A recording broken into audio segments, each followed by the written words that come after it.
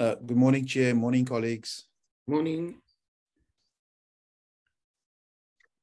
Chair, Mr. Mulder. Good morning, Chair. Good morning, all. I must just state that I'm still recovering from a medical procedure, um, but I can't miss out on a meeting like this. Thank you.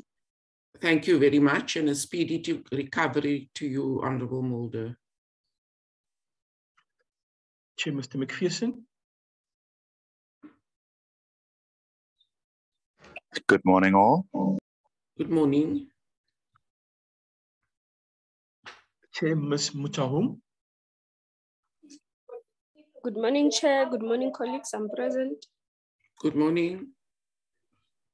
Chair, Ms. Muatse.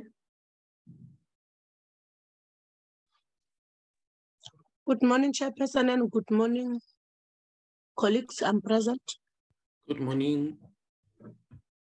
Chair, those are all members on the platform at the moment. I think one other member may still try to connect with us, Chair, and we have an apology. Uh, Honorable Malamacha is Um, also on the My apologies. I, I missed us. He's on my list. My apologies. I missed Mr. Malamatia. No, morning, Chair. Morning, everybody. I'm present. Good morning. Can we have the agenda for the meeting, please? Hermans?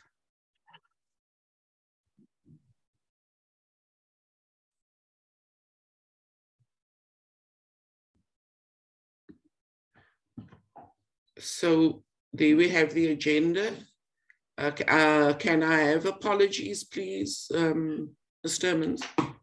Chair, we have an apology from Mr. Cuthbert, who's currently on study leave, Chair, and he will return next week, Chair. Those are Okay, the can only apology that I have at the moment. Thanks. Yeah. And then um, can we have a move and a second for the adoption of the agenda, please?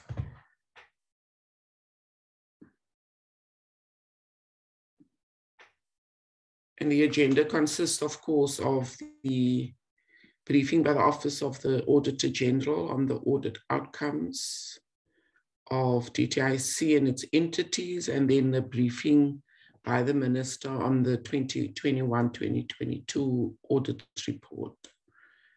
Sorry, Chair, Mr. and Watson, is- Honorable Matse.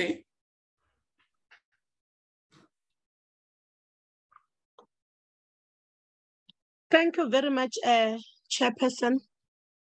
I move for adoption of the agenda as uh, presented. Thank you very much, Honorable Matse. Uh, Can I have a second for the adoption of the agenda, please?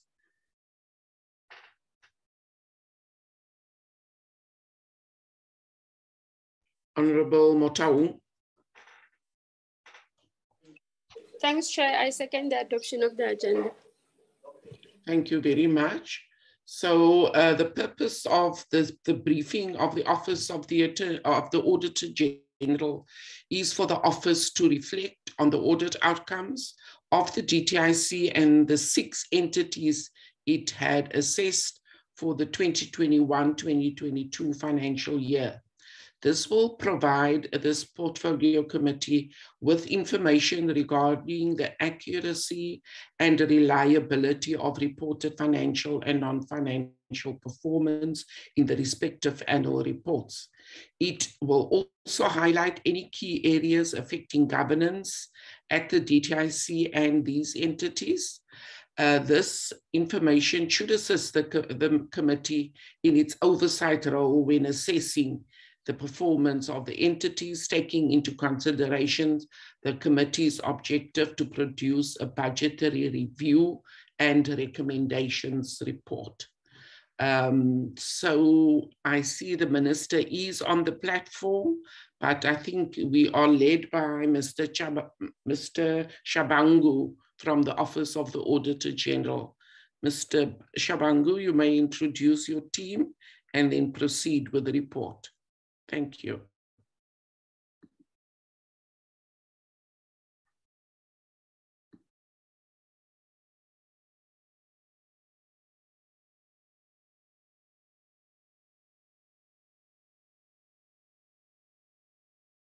Can we check whether Mr. Shabangu on the platform?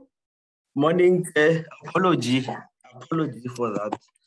Yes, I'm on the platform. Uh, morning, Chair, and morning, morning. to Minister and honorable uh, members and colleagues from the DTIC portfolio. Um, I'm not alone today. I'm with my colleagues, uh, uh, Mr.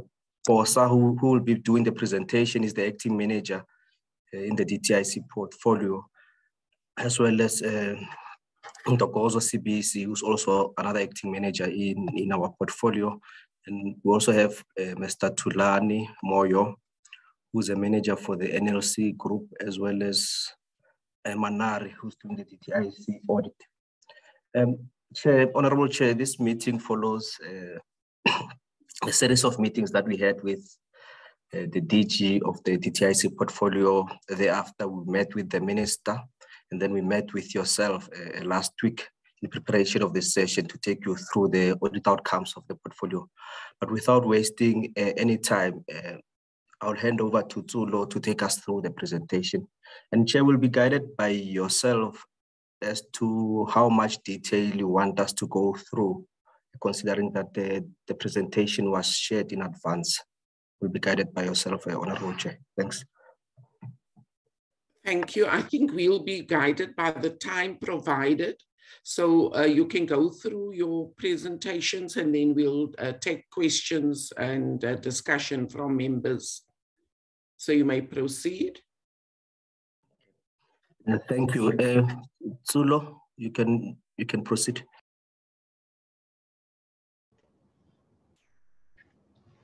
Uh, thank you, Honorable Chair. Thank you, Tsepo, for that introduction. Uh, I requested Itani to to present the slide on my behalf while I present. I don't know if he has uh, access to be able to share the slide, uh, Itani. If you can please um, assist me with. Let, let me let me try. I don't know whether I have. Uh, thank you. I don't know whether I have access. Let me try, and then. Uh, I will. I'll I will give you access now. I didn't know you. You were the one to to to, to share. I'll give you access now. Thank you. Maybe while we're waiting and he's trying to present, uh, because the first slide uh, is a, a, very normal and general slide that we always start with, uh, which is our mission statement. Uh, so there, I think it's important to note that as part of our processes of audit, we always try to ensure that we enable oversight, uh, accountability, and, and governance. So I think for the purpose of this session, this is an important part of trying us to assist in terms of enabling uh, accountability and oversight to various stakeholders, especially this important uh, committee, uh, so that we ensure that it assists in, like we we we assist the committee and give insight for them to to for for for you to perform your oversight responsibilities. Okay, we can move to the next slide, uh, Itani. Thank you. So in line with our new uh, strategy of the new Auditor General, uh, we, we have acknowledged that uh, as the Auditor General Office uh, alone, we cannot really try and change this accountability, accountability ecosystem. So we call on upon all the relevant stakeholders and to say all, all have a role to play international common accountability, accountability ecosystem. Uh, we would have said uh, uh, more details on this in the in the in the briefing notes that we have sent before this, this meeting. So this is just to highlight that if all the stakeholders, if all the relevant role players can play their part, as we'll demonstrate when we are presenting uh, these slides, uh, uh, there is a almost guaranteed impact on the lives realities of our citizens. Thank you. We can move to the next slide. Okay maybe it's more this one is more of a, a, a because we do know that uh, this portfolio doesn't consist only the auditors that we, we audit as the Auditor General of South Africa, but this was more like to, to say upfront that although the portfolio has many entities, uh, the purpose of the presentation, Honorable Chair has already said at the beginning of the meeting that we are going to be focused solely on DTIC, the department, and its six entities that were audited by the Auditor General which is in line with our uh, general report that we will present here, that's presented by the our 18. Also, on top of that, we do elevate some key messages or concerns that we've identified in some entities that are not necessarily audited by us, but where because of the guidance or monitoring, we try to keep to these uh, these uh, auditors that are auditing these entities. Uh, so we'll have some slides on NEF and on IDC on some of the messages that we would like to put or elevate uh, for the portfolio committee. Uh, thank you. Uh, we can move to the next slide.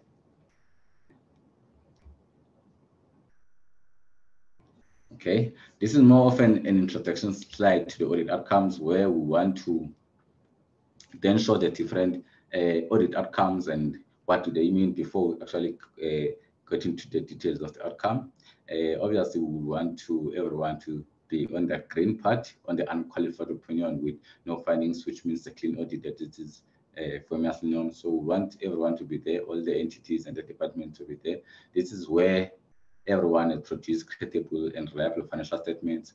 And as part of our audit, we did not uh, identify misstatements and compliance with key legislations. And also, uh, the performance information was also useful and reliable for the users. And then on the next one is when we start regressing uh, on that orange uh, box. Uh, there, the financial statements are still unqualified. That means they are still credible and reliable. It could be after the assistant, after the audit, and then some uh, uh, significant or material corrections were made. And then as a result of that, uh, then the financial statements that are then published are free from uh, errors and are credible and reliable, but we still have some issues with compliance, uh, where some we identify issues of non-compliance with key legislation, or the performance information is not useful and reliable. And then the next one, qualified opinion uh, as well, where now the financial statements are not credible or not reliable. And then the last two, which are adverse and disclaimer. This is where we are saying uh, at adverse and disclaimer, the financial statement are su like substantial almost all the amounts and disclosure amounts in the financial statement are either and are not reliable because uh, on adverse uh, we disagree with the, the amount that management uh, presented and the supporting documentation that is provided at for audit. And a non-disclaimed opinion is where management did not give us supporting documentation for almost all the amounts and disclosure notes that are in the financial statement. So with this, uh, uh, honorable members, I'll then proceed to then go in details on the, on the outcomes of the portfolio for the 2021-2022 uh, year. Thank you, Idani. So the next two slides, uh, this slide six and seven, will be like talking to the audit outcomes and the one a small movement that happened in the port in the, within these seven audits. So between from 2021 to 2022, there was been like we had three uh, unqualified with no findings, which, means we had three clean audits uh, uh, in the portfolio. And then on the unqualified findings, so where the financial statement was still unqualified, but uh, the other performance information and uh, compliance legislation had issues. We had two last year, this year has increased to three, and that is caused by a movement that came from qualified uh, in the previous financial year where we were two qualified uh, auditees, but now we only have one qualified, which is the National Lotteries Commission. The one that progressed is a national regulator for compulsory specific for compulsory specific specification, which is NRCS. So NRCS has uh, improved after seven or eight years of getting qualified opinion. They've improved in the current financial year to be unqualified with findings. Uh, I just want to maybe while we are still there, just want to warn the committee there on that one because uh, one of the key measures of the improvement of of, of this uh, entity was the CFO who was driving the, the performance and driving the the credible and, fun, and, and, reliable financial reporting, who has since subsequently left the organization. Not to say that because the CFO has left the, the entity regress, but we're hoping that the, the processes and the controls that the CFO has established will be continue to be maintained so that to allow that the the entity can maintain its unqualified opinion on the financial statements. Thank you. Okay, this slide is also showing the improvement, which is NRCS that I just spoke about. We can move to the next slide.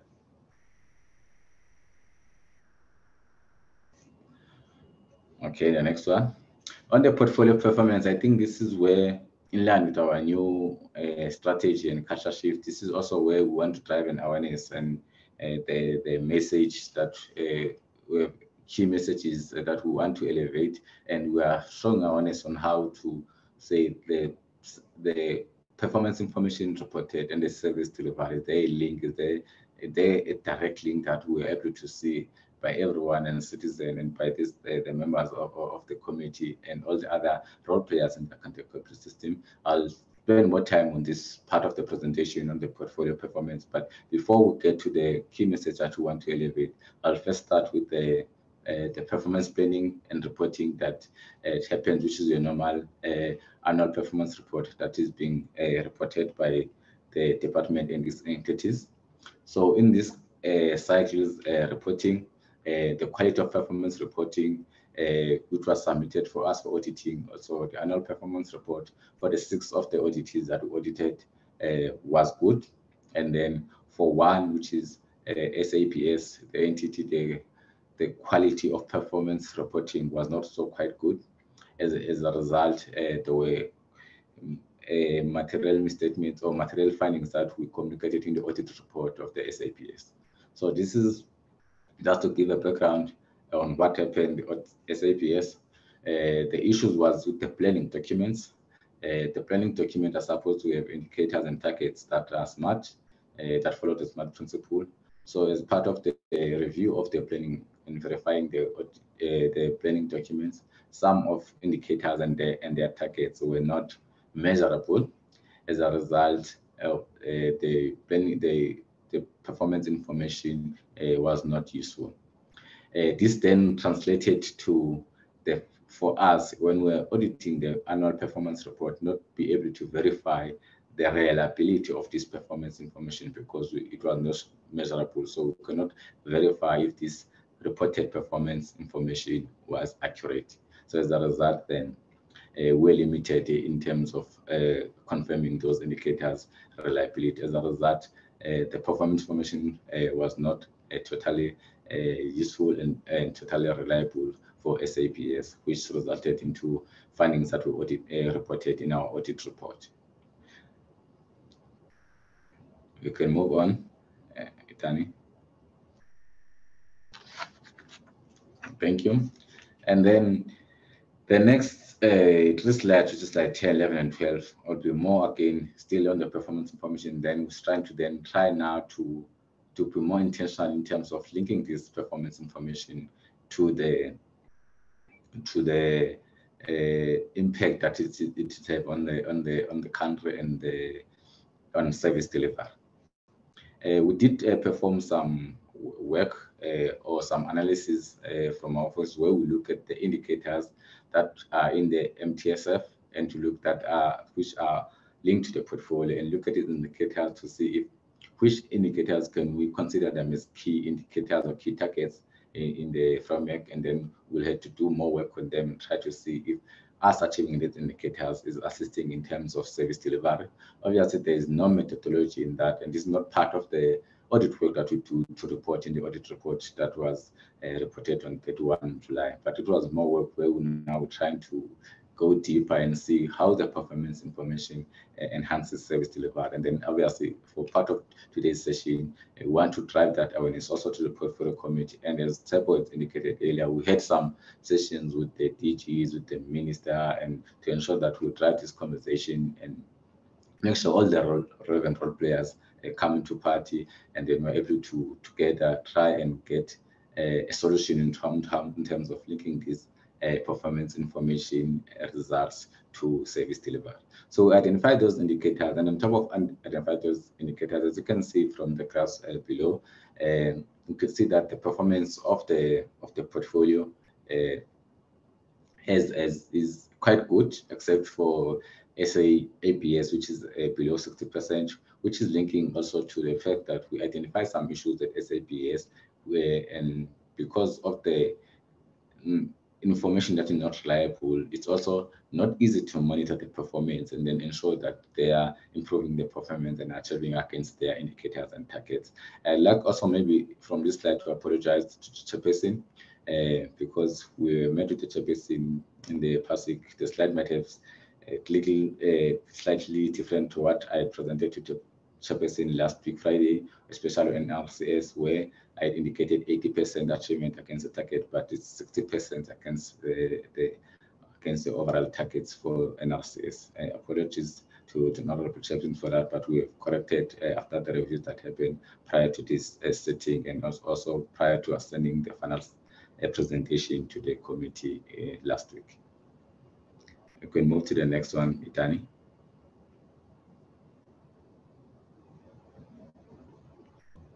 Okay, thank you. Uh, honorable members, this is, I think, our new uh, key message that is different from what we've been presenting in the prior uh, years in terms of the our audit outcomes, where we just uh, tell you the audit outcomes and the root causes of issues and the recommendations. This year, we this is the part where we message we are trying to elevate and trying to have all the role players to reflect on the performance and then link it to the service delivery. We use the, this key indicators that I spoken about earlier on that uh, we're saying are key indicators, and then we see how did the department performed against them. As you can see in the slides uh, here, uh, the TIC, Competition Commission, and the NLC, NLC group, uh, they all achieved in these key indicators that we identified for them, uh, which then begs the question, if we're saying they did achieve, uh, and that means whatever we plan them to achieve uh, as when we're setting these uh, targets and the indicators and we're designing them, there was obviously the, the, the goal in mind is to see an impact, uh, to see the change in the economy, uh, which is part of the mandate of the portfolio, in the job creation, which is also mandate of the portfolio.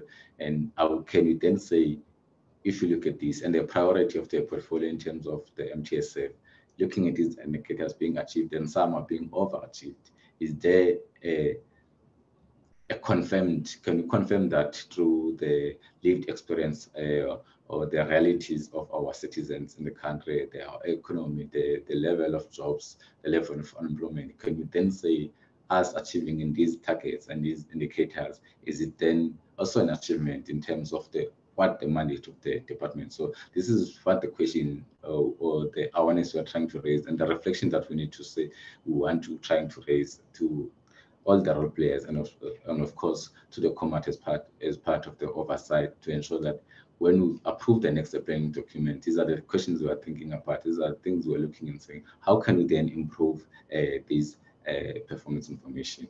We then, uh, if we go to the next slide, Itani, we then also, as part of our process of doing this as a conversation, try to look at the planning document of the prior year that we audited, and we look at the program that we audited, uh, audited and obviously uh, again, like I did mention earlier, this is not necessarily a part of audit work that we did and we reported on, but it is more of a work that we did uh, of a reflection post audit and say, how can we look at this and improve this? Yes, uh, the plan, the planning documents, yes, the the the reported performance information is reliable and it meets all the thing uh, the the ticks in terms of the framework for reporting.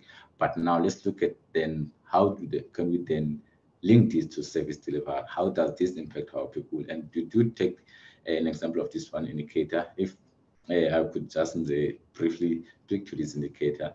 This, this indicator and this target are talking to a report on infrastructure, infrastructure supported in targeted areas. And then obviously to achieve that uh, uh, on that indicator, there is a report that must be produced uh, by the department. And then we look at it and say, if you do this report and you achieve on this report, uh, I would then say we're going to be able to achieve the output and outcome of this indicator, which is the output being the infrastructure development to unlock activities in support of the district model. Can we say by producing this report, we'll have achieved that output? Uh, also the outcome, the increased accessible industrial finance measure to support investment in priority sectors in line with approved master plan. So I was saying, well, this report, us achieving this report also mean that we've achieved in achieving the outcome and output that we have in, in research and what we're trying to achieve by setting these indicators and targets. So this is a part we say, let's reflect and see how can we then make, be more intentional in terms of what we want to achieve in terms of service delivery and how can we use those measures, which are the indicators and targets to ensure that we link them and make sure that with us setting this, designing this indicator and target, we are really uh, uh, achieving also on the outcomes and output and of course ultimately on the MTSF by 2030 then when we look back we are saying we have achieved what we had planned to achieve in terms of the MTSF. Thank you. We can note to the next slide.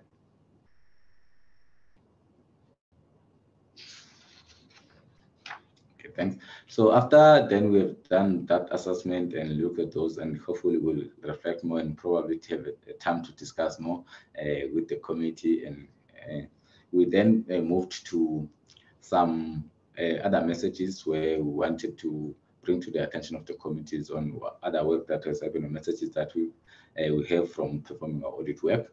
Uh, the honorable members will, will remember of the post-unrest economic recovery support that was provided by the portfolio, the TIC portfolio. So we did look at, at some of the work, and I know as auditors we are always regarded as people who always uh, come with only report on bad news or bad things. But I think on a lighter note here, we wanted to just say from the work done on the DTIC portfolio on the on the response to this post-unrest economic uh, that happened in, in and Gauteng uh, last year. Uh, the entities in the portfolio, which is DTIC, NEF, and IDC, uh, had some had some work to do, and there was an, an, improvement that we've seen, especially in the rate of dispensing of funds. Uh, one, especially with uh, IDC, when we did, when this uh, initiative started with COVID-19, we had noted in our special report uh, then that the IDC was taking time to disperse funds. We have noted now that there is a progress uh, that is happening, and now the funds are being dispersed much more faster, which is going to be able to assist in time uh, with the needs of the, our citizen. And also our audit observation, which is a key thing to say, not that the funds are just dispersed for the purpose of, of being dispersed, but our our observation, we did not identify a significant control deficiencies in these disbursements of funds. So the funds are more, almost likely being dispersed uh, to the right people and for the right purposes. Uh, thank you.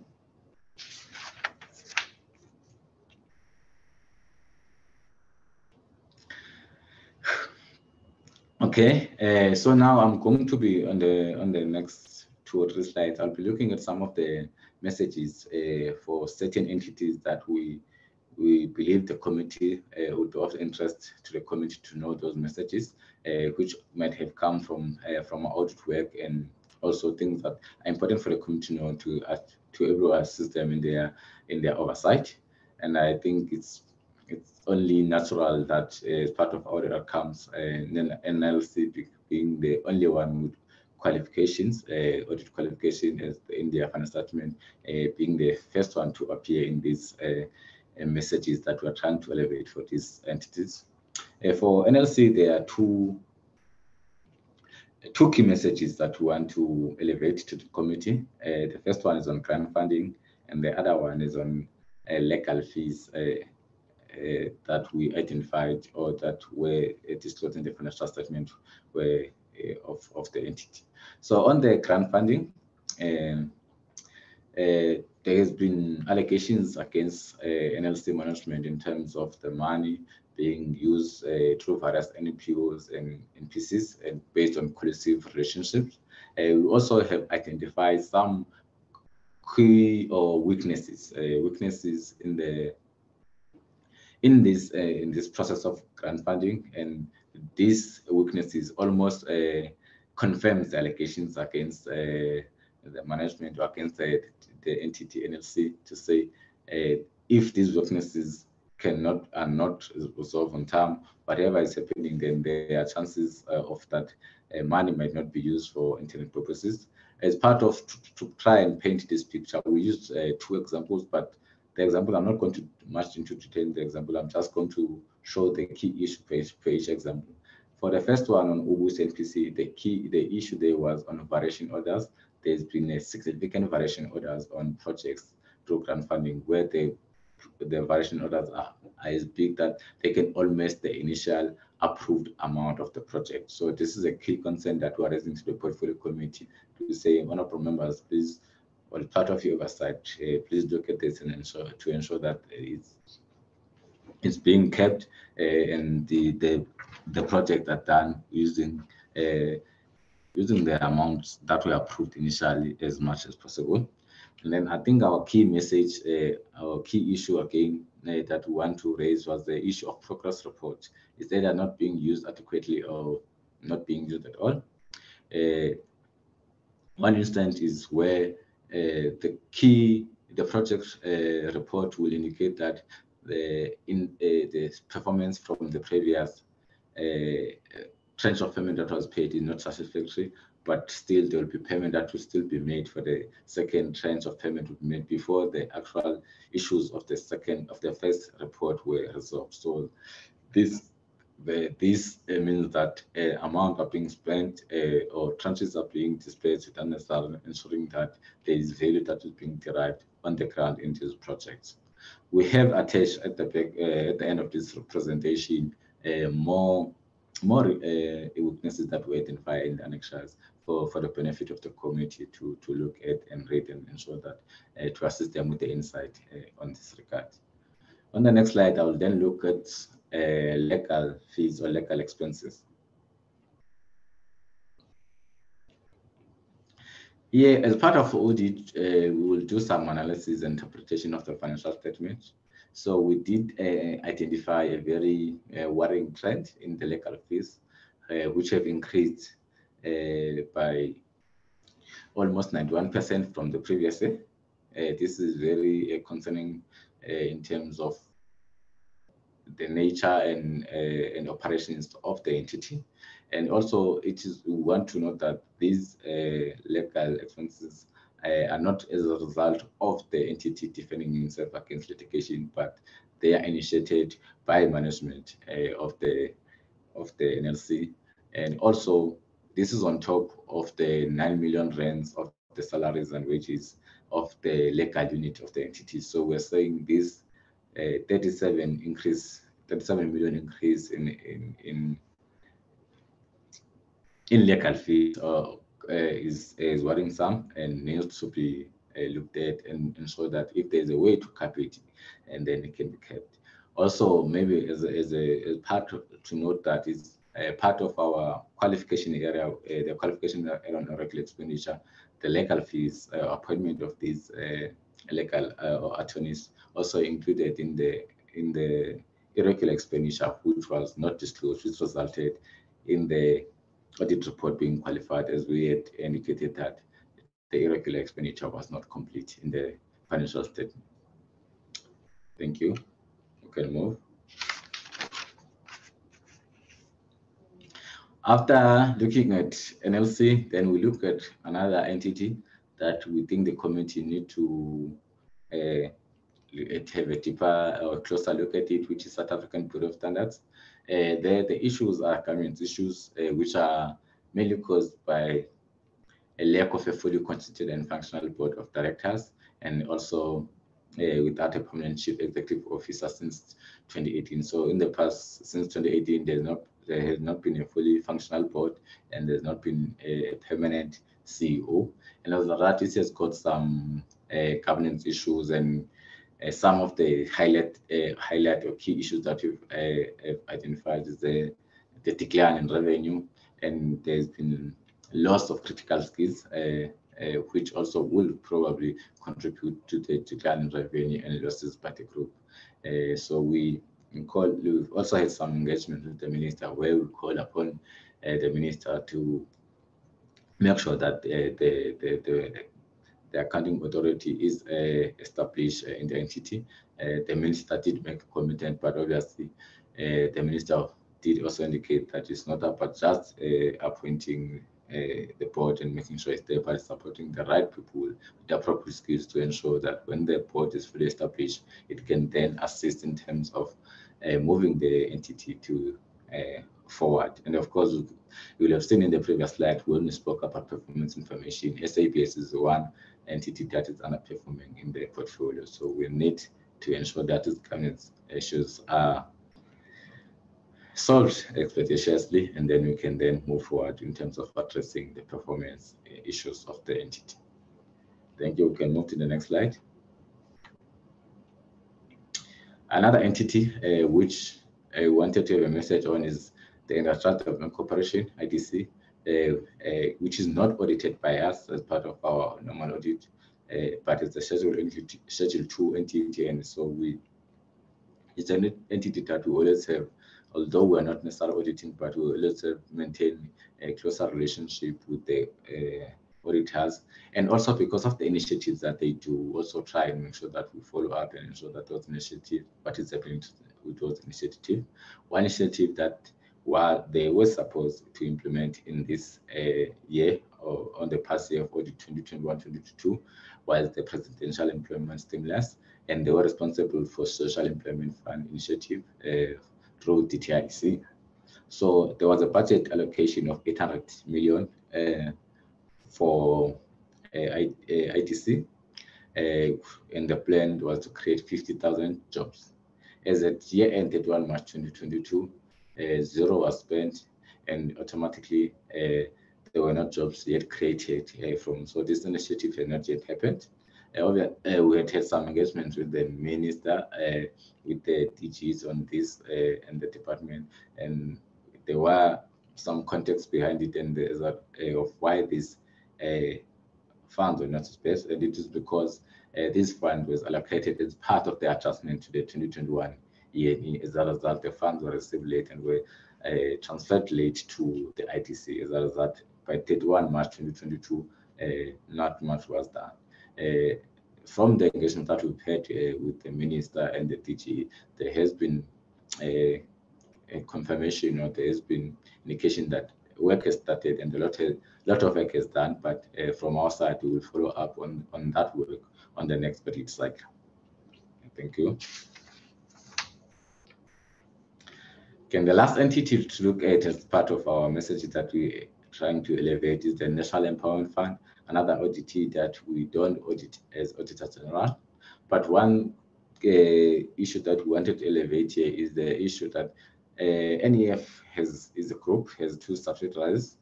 So NEF, as you can see in the audit outcome that I uh, put there, they, had, they were financially unqualified with no findings on predetermined objective and compliance with key legislation as the as the separate entity.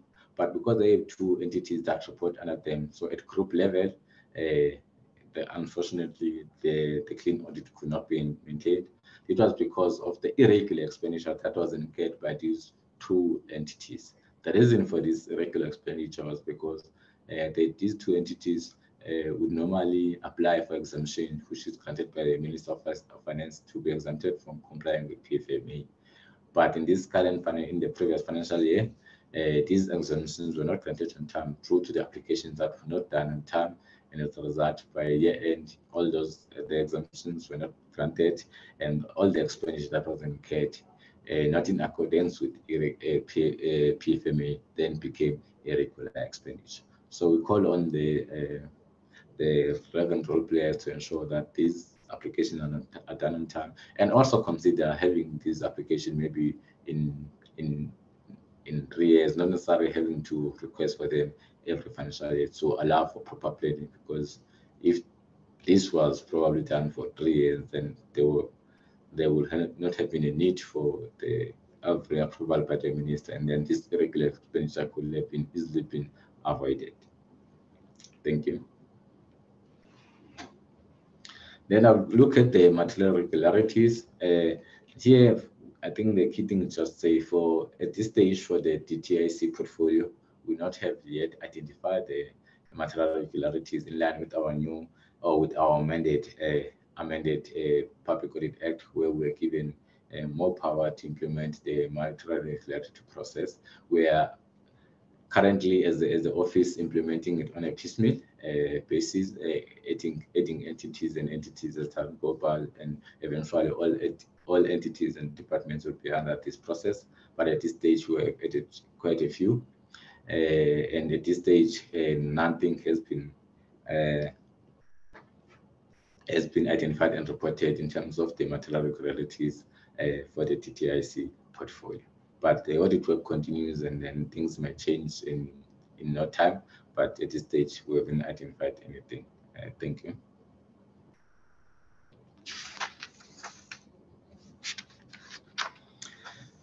Now we're going to look at the financial uh, uh, reporting, quality of financial reporting, and also compliance with key legislation. When you look at the quality of financial reporting, we're looking at the financial statement to see if the financial statement that were submitted for audit were credible and reliable, and then subsequently after audit, the financial statement that were also tabled to the portfolio community are also uh, credible and reliable. So if you look at those graphs there, uh, before audit, it's what financial is the financial statement that we received uh, to audit, and the green at the top, uh, DTICC, APCC, those were unmodified, just saying that the financial statement that we received did not have a material misstatement. So when the financial that we received for audit were credible and reliable. But for the other four entities, which is NCR, SABS, NCRS, and NLC, the financial statement that we received uh, contains some errors that required management to correct them before the final, final financial statement were issued. And then after the audit process happened and the correction that happened, uh, three uh, entities, which is NCR, SABS, and NCRS moved to the clean side, and only one was left NLC because they could not process uh, these uh, corrections or the correct corrections on time for interpreting. So NLCS remained as the only entity uh, in the portfolio or in, in these seven entities to have a qualified opinion in the financial statement. Uh, the qualification is on irregular expenditure that has been disclosed, which is coming from deviations from procurement contracts that were awarded based on criteria that differ from the original classification and specification for us that do not stipulate a minimum threshold for local production and content. So this is very important to have, especially with us driving these uh, new messages of saying we must implement uh, uh, indicators and targets that impact service delivery. We need quality financial reporting as a basis to, to start uh, this change. So it's important that NLC also we assist NLC to move from where they are to the clean side to ensure that uh, they're having their good quality financial statement because poor quality financial statement will result in will impact the ability of all the relevant stakeholders making uh, right decisions and ensuring that these decisions are that decisions are able to impact uh, uh, the citizens. For example, with the NLCS, the regular expenditure, if it's not complete, then the next step for regular expenditure for management is to then investigate that regular expenditure and and institute consequence management. And in this case, if it's not complete, that means the investigation is only complete because there will be some irregular expenditure that are complicated and which then automatically means the consequence management that is going to be done and not going to be complete. So it's important that you ensure that the reporting is is credible, is reliable to then allow the other steps, the next steps to take place uh, from using reliable information. Okay, we can move to the next slide, Tani.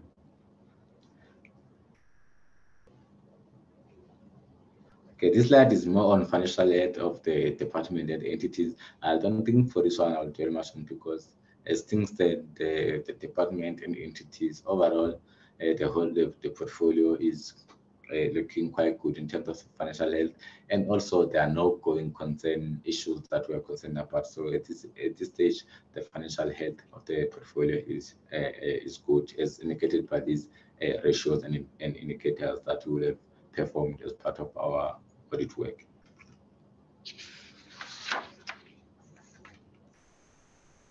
You can move it on. Okay. Now looking at compliance with key legislation, uh, on this slide, as you can see, I think there, there are two key things that I want to highlight. Uh, the one of the key non-compliance is the quality of financial statements. So the financial statements that are being prepared and submitted for audit uh, are not of quality, are not prepared in terms in, in terms of the appropriate uh, accounting framework as required by the PFMA. It's resulted in just four audit uh, auditees having uh, non-compliance issues. And then another key issue is to say, if you look at those affected auditees for each of these areas of non-compliance, NLC seems to appear the most. It appears under quality of financial statement, appear again under procurement and contract management. That means when they are procuring, uh, they are not always complying with, the, with, with PFMA. And again, they are not having steps to prevent irregular uh, expenditure. And then, of course, because of that, they also uh, are not effective uh, affecting consequence management one time. So uh, NLC is one uh, entity that is seems to appear in all these non-compliance areas, and a result, there must be a closer look to ensure NLC is assisted to move from these non-compliance with key legislations. Okay. Okay, another thing that comes from non-compliance is the regular expenditure. Uh, as a result of the non-compliance that happen, especially uh, uh, procurement and contract management, then there's some regular expenditure that comes out of that, and then it is disclosed. You will see that from 2021 to 2022, there's a big increase of regular expenditure from 23 million to 78 million. The biggest increase is caused by NLC, which with 68 million uh, regular expenditures that came from uh, NLC. again, it also speaks to the fact that the irregular, like there was non-compliance on procurement and contract management on the previous slide, and also non-compliance on prevention of irregular expenditure. And so NLC has been the, uh, the major contributor of irregular expenditure. And also, I think it's also important to note that the amount that we put here, the amount that we have disclosed in the financial statement, this is still the amount that we say uh, the irregular expenditure is incomplete and not included in the financial statement.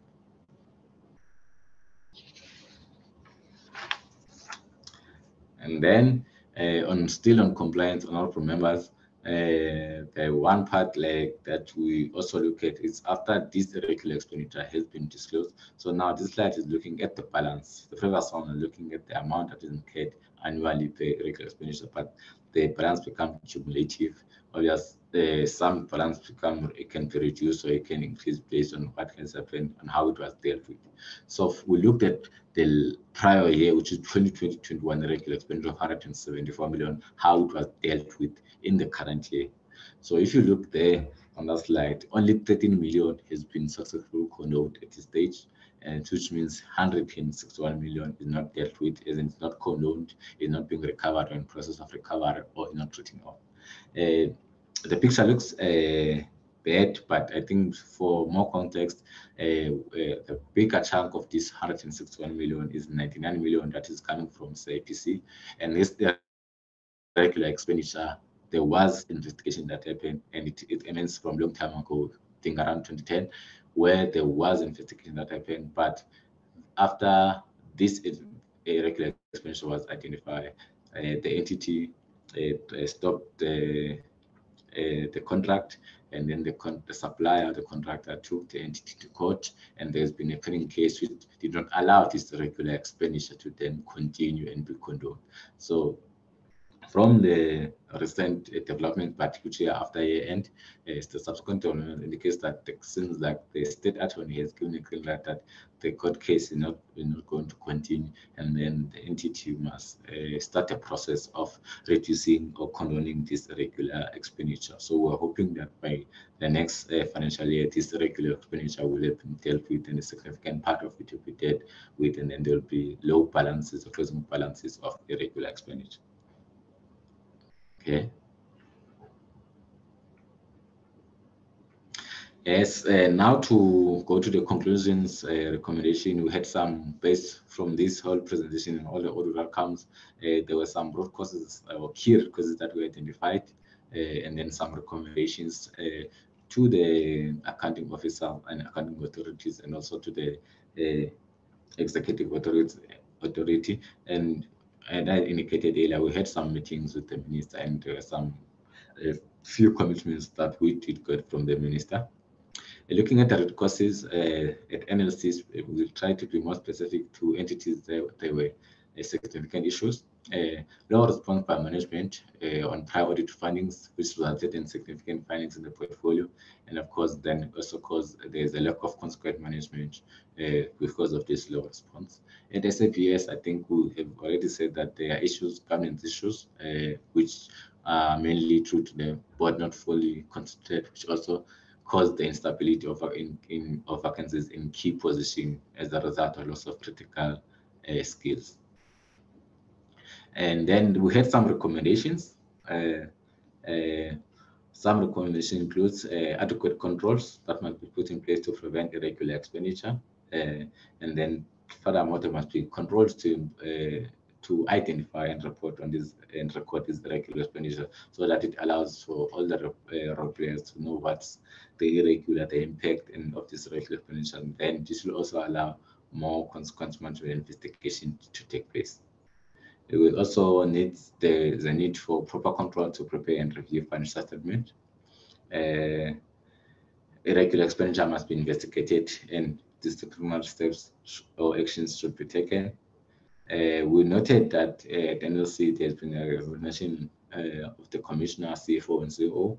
And so these vacancies, which are key vacancies, uh, need to be uh, filled uh, timelessly to ensure that uh, Eh, there are no controls uh, in the uh, there are no weaknesses in the control environment. And of course, a more obvious recommendation for us in terms of governance issues for SABS is to say an appointment of a fully functional board to lead and govern the entity is needed.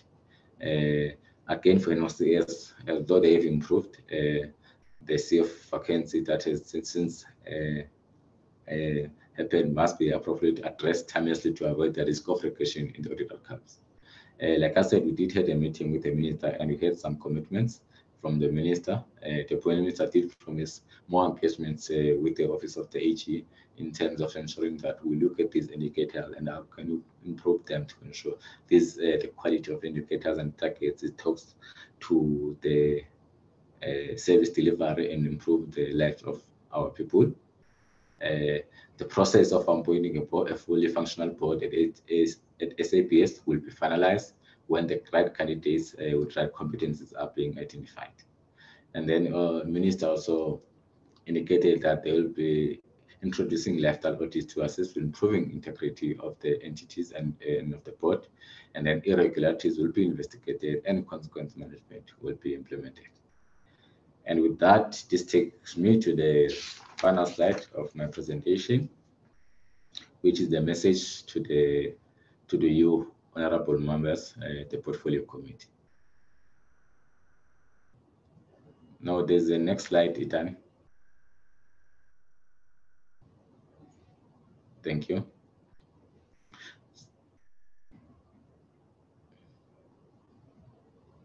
Uh, there's one final slide.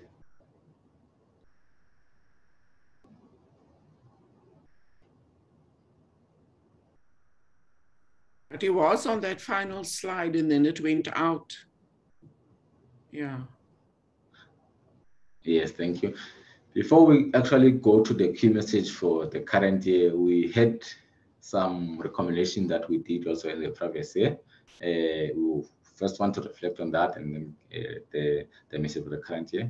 Uh, the key thing on the message from the uh, prior was like progress was to have monitor uh, reg in regular follow-up with the executive authority and accounting officer on the progress on the audit action plan, and then also follow up with entities that indicate irregular filters and useful expansion so consequence management. And then our reflection on this is the, the audit and action plans have been uh, partially addressed, especially if you look at the issue of NLC, uh, they improved their audit accounts in terms of moving from the qualified to unqualified. So there's progress there implementing the action plans, uh, the audit action plans, but there's been a slow progress uh, or slow response from the NLC side in terms of responding to these action plans and also in terms of uh, preventing the incurrence of uh, incurring irregular expenditure. So that's the reflection we have, and hopefully uh, things will uh, will change, uh, will improve also from the NLC and the whole portfolio.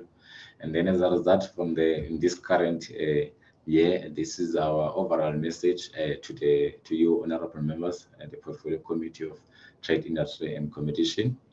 Uh, there are still auditees in the portfolio that submit AFS not preparing according to the prescribed financial reporting format, which speaks to the quality of financial reporting at the entities. And then we are saying there's still a need for an in-depth review on plan indicators and targets required to increase the impact in the service delivery and to ensure we uh, improve the lives of our people. And then number three, uh, for analysis, uh, the weakness in the grant funding that we discussed above, and of course the uh, the attached the annexure that I included at the end of the presentation must be quickly addressed. There's a need to quickly address that those weaknesses in grant funding. And then in SABS, again, there's a need to ensure governance structures are established to improve sustainability of the entities. Uh, with that, uh, I've come to the end of our presentation. Uh, thank you, Chair, and thank you, honorable members. Thank you very much uh, to the uh, AG's office and uh, led by Mr. Posa, the presentation led by Mr. Posa. Excuse me. Members, I just want to check with you whether we will have a question session now to the office of the AG or whether uh, we will take questions and discussions after the minister's presentation on the annual report. If I can just have an indication from members.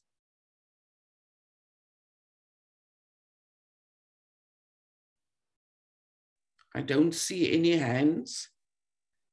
Uh, Honorable Malamecha. Thank you, Chair. I think let's rather have the question in clarity after both uh, what you call presentation. Okay, Honorable Burns-Ncamashe. No, thank you, Chair. I, I, I, I, would have said the same because, you know, once we deal with it in a piecemeal, it might um, um, um, um create a, a, more dis, uh, uh, integrated kind of uh, engagement. So let's rather have the, the full set than start to raise questions. Thank you very much. Can I then just check uh, with the Office of the AG, uh, Mr. Posa and Mr. Shabangu, whether um, you will be able to remain on the platform for the duration of the meeting? Uh, yes, uh, Honorable Chair, we are at the service today. We will I, remain. I don't hear you. I'm saying we will remain. Okay, that's that's fine. Thank you very much. Then we hand over then to the minister to introduce his team and to take us to the next agenda item, which is the annual report uh, of the department. good morning, uh, good morning, Chairperson. Uh, good morning to the honorable members. Uh, good morning to the uh, team from the Auditor General's office. Uh, good morning also to the officials who are present and uh, members uh, of the public who may be following the proceedings. Uh, Chairperson, it's my, uh, my pleasure really to um, introduce the team. We have a team of made up of Deputy Minister Majola, who is here with us, together with a number of officials led by the Acting Director General, Shabir Khan. We also have uh, uh, present, among others, um, a number of Deputy Director Generals, Malebo Mabitje-Thompson on industrial uh, financing, Lerato Mataboge on exports. Uh, we have um, uh, Irene Ramafola, the acting CFO, Nontombi Matumela, the COO, and she's supported by Wongi uh, Mashamvise. Uh, uh, Ambassador Xavier Carim is on the platform, Stephen Hanival, Evelyn Masotja, Nimrod Zalk, Yunus Hoosen, Muhammad Vauda, and uh, Maute Malifani. Uh, there are also some support officials uh, that may be present on the platform. Chairperson, may I first thank you for the, the opportunity for us to present the annual report. Uh, we have uh, uh, submitted the annual report to Parliament, and we've, uh, in order to organize the uh, presentation of the report, we thought it would be helpful just to have a PowerPoint. and I'm going to ask Tsulu just to flight that PowerPoint with your permission.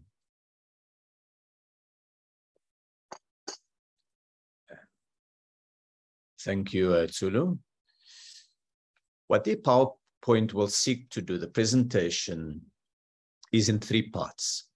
The first part will look at the DTIC portfolio as a whole and a few highlights from that portfolio, going a little bit wider than the uh, annual performance plan of the department. And I will highlight some of those key areas. Part two of the report will look at the annual performance summary for each of the programs in the department. More of the detail of that will be set out in the uh, in the tabled report, but I'm asking um, uh, Shabir Khan uh, as the acting director general to take the uh, committee through the uh, programs.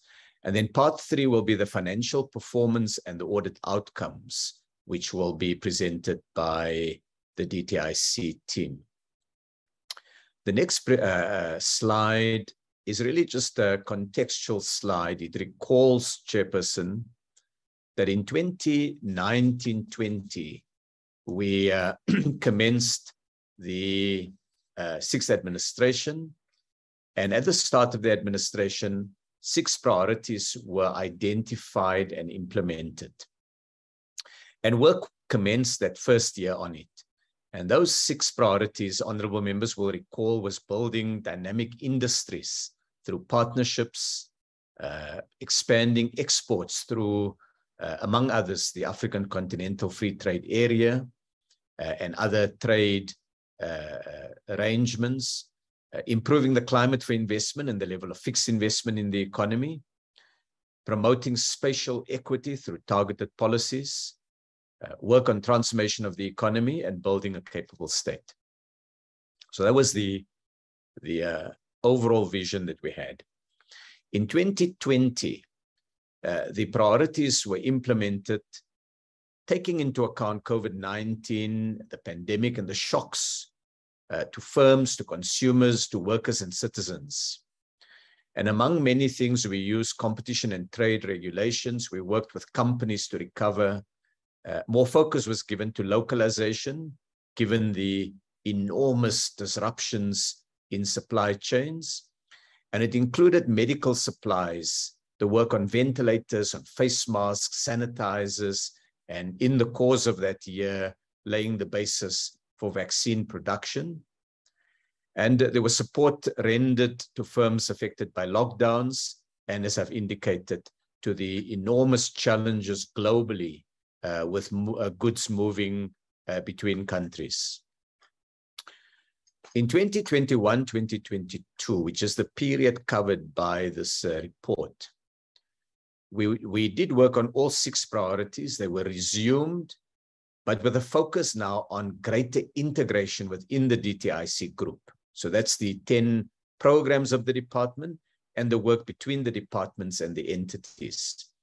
We worked more actively with other parts of the state, more focus on partnerships with firms. We worked on a quicker response to deal rest, and we drew on our COVID-19 experience there. We speeded up work on master plans, on exports, on localization, and on transformation.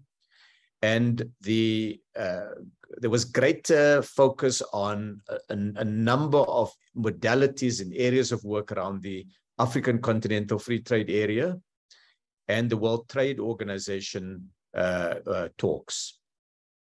And part of this year was also trying to get a greater level of off-balance sheet funding.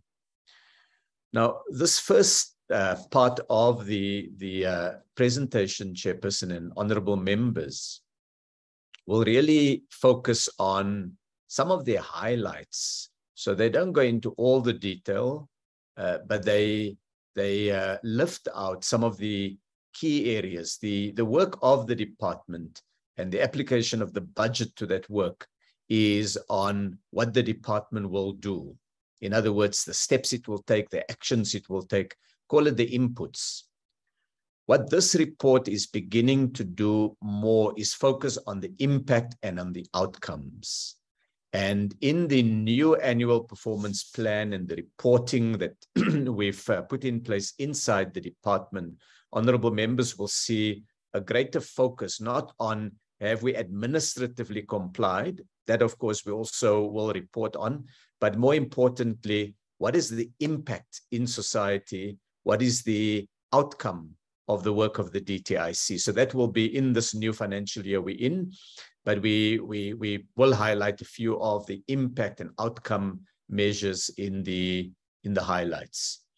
The next slide then begins the, the work what uh, it recalls the work of the that the report that the auditor general gave covered those audits that the AG's office had directly undertaken.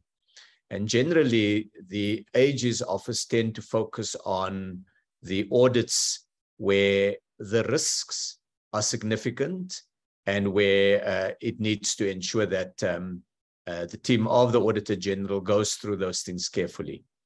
But there are 18 audits in total that is done for the department, some by the Auditor General, others by large accounting firms that are appointed uh, with uh, uh the uh, AG's office.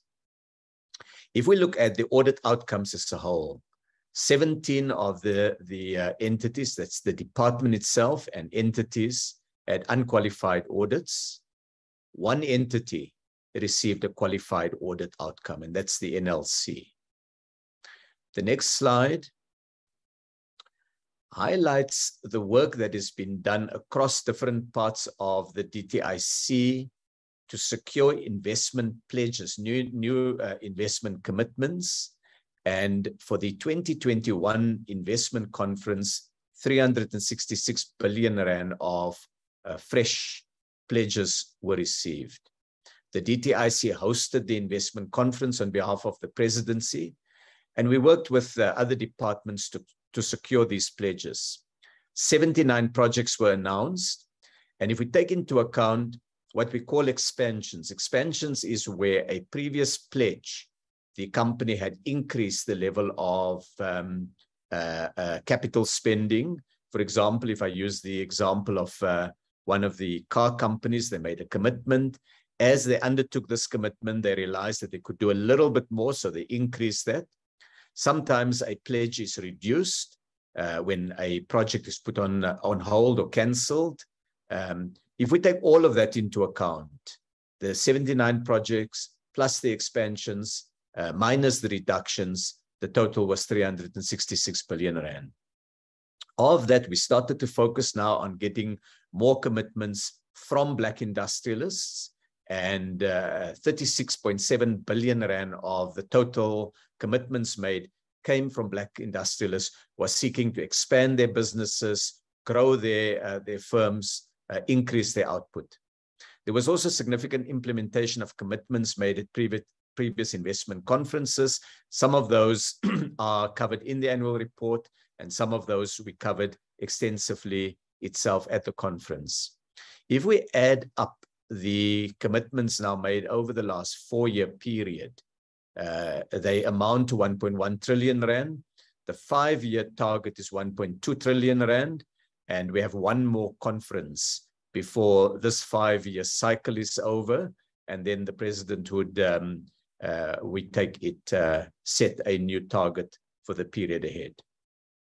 The next slide then covers approvals of investment by the IDC specifically. The IDC provides support in loans and equity uh, for investments, and uh, its total approvals for the financial year was 16 billion rand.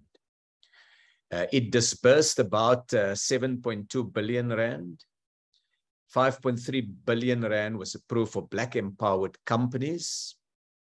4.1 billion rand for black industrialists and 1.4 uh, rand was approved for women and youth empowered businesses. Now, the IDC approvals are based on putting forward a, a, a, proposition. A company would put up a business plan and say, we think we can make this business plan work and it fits into the mandate of the IDC. It goes through a process and uh, if it meets the, the, the requirements uh, and the IDC has the resources available, that is approved. The disbursements then flow as uh, each of these projects reach a particular milestone. On the right-hand side, we talk about rebuilding the asset base of the IDC. The IDC has not received fresh shareholder uh, monies uh, for probably the last 40 or more years. It's received no new monies in the period of the democracy and for many, many, many years, even prior to that. So the IDC has to uh, work with its balance sheet. It's got to make sure that it's able to, to uh, invest in businesses that are profitable, that pay dividends. Uh, it has to use the asset base to go into the money market and borrow money so that it can uh, it can finance the commitments that it makes to new investors. And therefore, the IDC's balance sheet is very important. The pandemic, and I should say the 2020 oil crisis, left the IDC balance sheet seriously damaged. Honorable members will recall that there was the strange period um, in, uh, it was about February, March 2020, when uh, the oil price dropped very, very significantly. And uh, we had a massive drop in uh, uh, uh, shortly thereafter in industrial output across the world because of the pandemic. And these two factors damaged the IDC balance sheet. If we look at the, the IDC mini group, the uh, balance sheet went to um, went down quite significantly. in by 2020, the balance sheet had been had gone down to 97 billion rand, and um, uh, I met with the IDC board in 2020 and we started the process of uh, working on how to rebuild the IDC balance sheet. Uh, that meant that we, we needed to change some of the APP for the IDC. It's called the corporate plan uh, to enable it to have a little bit of relief. It, uh, we, we, we lowered some of its targets to give it the space to be able to recover.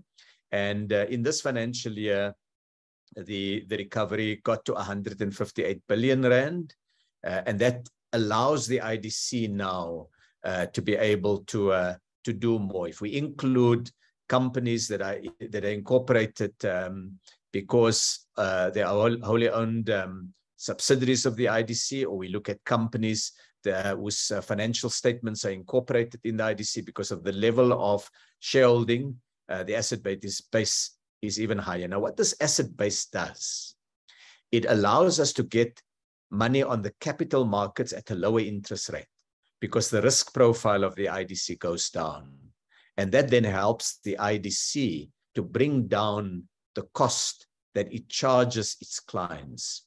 We also report on the July 2021 unrest response by the IDC, 2 billion rand allocated, uh, just short of 2,000 firms supported, 1.5 billion rand dispersed.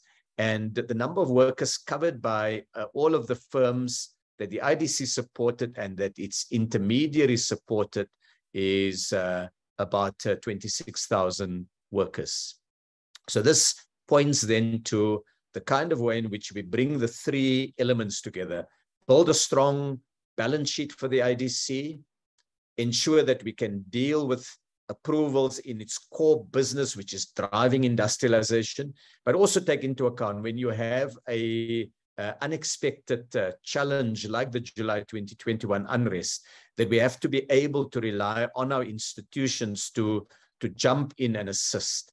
And this slide points to those three elements of the work of the IDC. The next slide will then highlight uh, the work uh, by two other entities, the NEF, 1.3 billion rand in approvals. This is the highest level of approvals uh, and disbursements uh, in its 19-year operational history.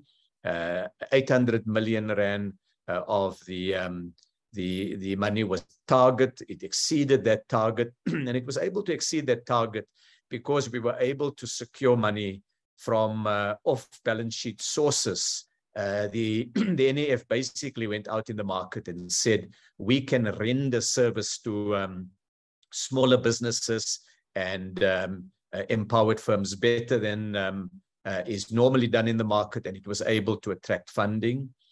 Uh, it disbursed um, just over a billion rand, and this data include its core work as well as the UNRES funding. And then finally, the uh, ECIC, which provides risk cover for companies that are in the export market. they approved transactions uh, worth 250 million US dollars in uh, this period. The next slide then highlights the work of the department itself, not the entities, but just the DTIC specifically. And the DTIC uh, approved funding uh, of 6 billion rand in the financial year. This is 196 projects that the uh, department had um, had approved, 39 billion rand in projected total investment value. So this is when it uses all of the instruments at its disposal and the, the commitments that counterparties in an investment transaction make, uh, the, the um, uh, footprint of it uh, is 39 billion rand. And all of the companies that were supported uh, employed uh, just over 66,000 workers. The next slide then uh, provides information on master plans. And we, we've provided the committee with detailed uh, reports on the master plans and there's a little bit more information in the annual report itself. So this is just a few highlights. This is not an attempt to replicate an entire presentation, but in the Steel Master Plan, a number of projects in the value chain leverage 1.3 billion rand in new investment and uh, uh supported just over 2,000 jobs. On global business services in this financial year, the master plan uh, was finalized in a sector that has the potential to create thousands of jobs in the next decade. To give an example, just last year, 130 jobs were created in Cape Town in a global call center called Boulder. And 90% of that will be available to youth uh, employees. Uh, and this is all based on the incentives provided by the DTIC. And then complementing that kind of things, the digital service infrastructure was reinforced by the announcement of 8.5 billion rand of investment in data centers, telecommunications, and software development. And there are tens of thousands of workers currently employed in the sector as a result of the DTIC incentive schemes. The next slide then uh, goes into a little bit more detail on different master plans. It then takes the sugar master plan. The sugar industry was supported to drive transformation and growth uh, 225 million rand was spent on small scale, largely black farmers, uh, and 60 million rand premium fund was committed by the South African Sugar Association and supported just over 12,800 small scale growers uh, starting from the 2021 season. Now, this money was largely generated from the sugar industry itself through the various measures that the department has put in place. So we were not drawing this money from the fiscus. It's not on the budget that Parliament votes on, but it is an important part of the support that we're unlocking for small scale farmers. So when I talked about using off balance sheet financing, this is an example of trying to get more done without having to necessarily dip always into the the uh, the national budget that the Minister of Finance uh, puts forward every year. To drive localization, there was a, an increase, 22% uh, increase in the procurement of local sugar by soft drink producers. And just to show the connection between these various things, it helped um, Illovo small scale cane development project uh, that I'm advised employs 860 people in KZN. And ShopRite also partnered with local growers and government to promote the sale of locally produced sugar in its uh, stores uh, all over the country. The next slide continues with the master plan highlights. It looks at poultry, uh, 22.5 million. That's the weekly local chicken slaughter capacity that has been developed as a result of increased investment. Uh, the South African poultry industry pledged to invest 1.5 billion by the end of 2022. And by November 2021, they had reported an investment total of 1.1 billion rand. Uh, and uh, this had created 9.8% uh, additional capacity for emerging farmers. And uh, as I've indicated, it's also helped with slaughter capacity. Uh, from um, uh, the, the work that has been done uh, on a fund uh, that has been set up jointly by the IDC and DALRRD to support new and current expansion across the agriculture value chain, six poultry value projects valued at call it about 360 million rand were approved and they created 204 additional jobs. We also had extra production of soya and maize, uh, which will be available for feed and export. And this is 9% uh, up from the previous season. And the industry reported that more than 2,000 jobs were created across the value chain. Uh, the next uh, slide goes into the clothing, textile, and footwear uh, uh, master plan. Some highlights there around investment by a company in non-woven textiles in the Western Cape, a company in uh, uh knitting and dyeing in KZN, and a company in safety, footwear, and PPE in Gauteng.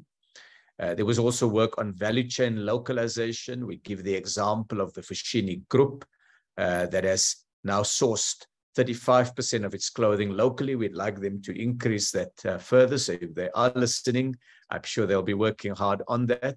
Mr. Price also sources uh, as 35% of total merchandise uh, locally. And Game uh, looked at a new uh, clothing line, uh, also with a, a component that is locally manufactured.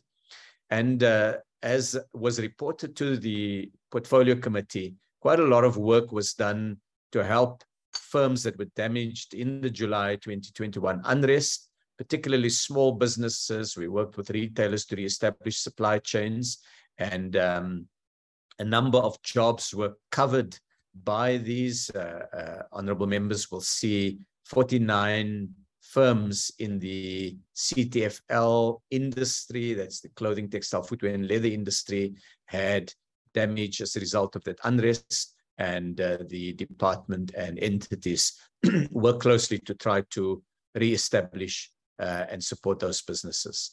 The next slide uh, goes into further master plan highlights. It looks at the furniture master plan concluded in this period, uh, and it highlights one of the big investments that was unlocked through a partnership between the department and PG Bison, with 2.5 billion rand investment in new manufacturing capacity. And um, particularly important here was this medium density fiber board plant uh, that will have the capacity to uh, replace close to a billion rands worth of imports every year.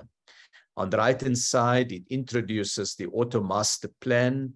And um, this financial year was the first operating year of the, just go back one slide, of the, uh, the fund that has been set up to support transformation in the auto sector. Uh, 178 million rand was approved, uh, and uh, there were various commitments made by the large auto assemblers uh, for, for 10 enterprises on what can be bought from them, what support they can get uh, over the, uh, the number of, of years and some of it was realized already in 2021. The next slide then breaks down the uh, auto master plan for one firm, um, and we take the example of the new C-Class Mercedes-Benz that was produced in South Africa. There's only three places globally that the new C-Class Mercedes-Benz is produced. It's Bremen in Germany, it's Beijing in China, and it's Buffalo City in South Africa. This was a very large investment. Uh, the the um, company reported 13 billion rand with uh, about 600 new jobs, direct jobs, and 2,000 jobs in the value chain. There's a number of black-owned suppliers, uh, and uh, one of them, uh, VM Automotive, formed part of the suppliers. program that the company has, and they've introduced what they call laser blanking as a new technology in this new generation C class. We then, in the next slide, go to another vehicle manufacturer, which is uh, Toyota. they invested 2.6 billion rand in building a hybrid car in South Africa, uh, and uh, uh 2,600 jobs were sustained. A number of new jobs created, just over 300. And uh, there's a large number of parts that are localized, that are produced here in South Africa, uh, more than 600 localized parts. And there are 56 local parts suppliers uh, operating in South Africa, and 16 of them are Black owned. Um, and on the right hand side, honorable members will recall that Toyota launched the Corolla Cross in uh, its plant in eThekwini in October last year, with the value uh, of the investment being set out. Uh, the next slide then goes into another part of the auto value chain. And this is now special economic zones. And here we highlight the work of the Tshwane Automotive SEZ. Uh, and three new factories were opened in the Tshwane SEZ in the financial year, 600 production workers employed. And there's a number of additional firms uh, who are building uh, the facilities in the SEZ. Uh, and some of the details are, uh, are set out there. And we will be reporting again on this in the current financial year as more of those factories get to be uh, ready for, for production. And it really is creating quite a significant auto hub where you have the Ford Motor Company just outside the SEZ and then some of its suppliers inside the SEZ. The next slide. This now looks beyond master plans and we look here at matters involving local capacity, trade, and so on. And we've had rapid growth in exports of high-tech products like pharmaceuticals and trucks, with export of trucks crossing the 4 billion US dollar threshold for the first calendar year on record. We took the 12-month period ending December. Uh, Aspen uh, Pharmacare, which is a South African company with global operations, they exceeded their own target for vaccine production. And uh, the first, and Africa's first anesthetic plant was opened in uh, enabling local hospitals and patients across the world to be serviced by proudly South African made products. As, as I um, reported previously, Afrexim Bank also hosted the Africa Trade and Investment um, uh, fair. It's called the Intra-Africa Trade Fair. It was held in Durban, and Afrexim Bank reported that $4 billion uh, worth of uh, trade and investment deals were uh, concluded by a number of different African countries with their banks, with suppliers and others. And uh, the department, of course, did quite a bit of work to help with the, uh, the trade fair. The department contributed to finalizing rules of origin for products under the African Continental Free Trade Area. An agreement was reached on rules of origin for about 88% of products on the tariff books, with more than 4,500 products. Uh, and uh, we, we met the target set in the previous year. And the team um, uh, of uh, Xavier Carim and Nikki Cray and others had to do quite a lot of work because each of these tariff items lines are themselves capable of extensive discussion to see what should be the appropriate rule of origin. The next slide then goes into the uh, details uh, that uh, uh we, we've provided in the annual report, and it covers the uh, equity equivalent investment program. This is a special program that's available to um, uh, to multinational corporations who can't have equity by Black South Africans in their firms. And JP Morgan, which is a large global investment bank, entered into such an agreement with the department that helped to unlock 340 million rand fund and it was launched in the financial year that we're looking at. It supports Black-owned enterprises and small businesses in a range of areas, in industrial and green uh, sectors, in education, health, and digital inclusion, and in the financial services sector. They've already begun to achieve some uh, outcomes. They've got a short-term window that's done 39 deals with 37 million rand paid out, 32 permanent jobs created, and we then do a breakdown of where that is. They also have a medium to long-term window. Seven transactions worth 60 million rand are in the pipeline. They're going through the due diligence stage in this financial year that we're talking about. Uh, and um, uh, uh, some of the details, four of them uh, have been uh, have been covered and, and are reported on. Um, can we go to the next slide? We're one slide behind. There we are. And um, uh, four of these um, uh, projects. Okay, uh, so if we can just go one back. Uh, four of these are in construction, in manufacturing, two are in financial sector, and one is in retail. Five million rand has already been paid out. So this has moved quite quickly if we take into account that the um, the fund was only launched in August, um, and uh, we'll see there also reference to a, a black-owned company in Katlehong uh, that is expected to create 23 new jobs. Let's move then to the next slide. The next slide uh, provides uh, additional information on the competition area because together with transformation of the economy has to go to dealing with some of the structural challenges we face. And one of the highlights I want to point to is the Competition Commission published a, report in uh, November, late November, early December last year.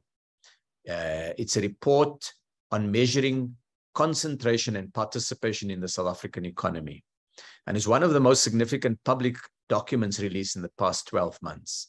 The report is what I could describe a who's who. Uh, who owns the South African economy? Who owns the firm that produce what you eat, where you shop, where you go for your medicines, your blood tests, your x-rays, what you read, what you drink or smoke, where you gamble, where you uh, what you drive, who you fly with, the pipes for the water we use, the renewable energy, the coal, your insurance, your retirement fund, your medical aid, and who you bank with. The study uh, looked at 144 subsectors of the economy, and over two thirds were found to be highly concentrated. 21% were moderately, moderately concentrated, and less than 10% at unconcentrated markets. And we provide a little bit more details there. And what the uh, report concluded is that the provisions that Parliament has enacted in the changes to the competition laws were very, very timely because they will help to address the challenges that this board, uh, this um, uh, report rather, uh, has uh, identified. The next uh, slide uh, provides information on the persistence of level of concentration. and yeah, honorable members will see the different quadrants, and we've highlighted in particular the, the instances where uh, a, you have a highly concentrated uh, market with a dominant firm and a highly concentrated market, but with no presumptively dominant firm. the next slide.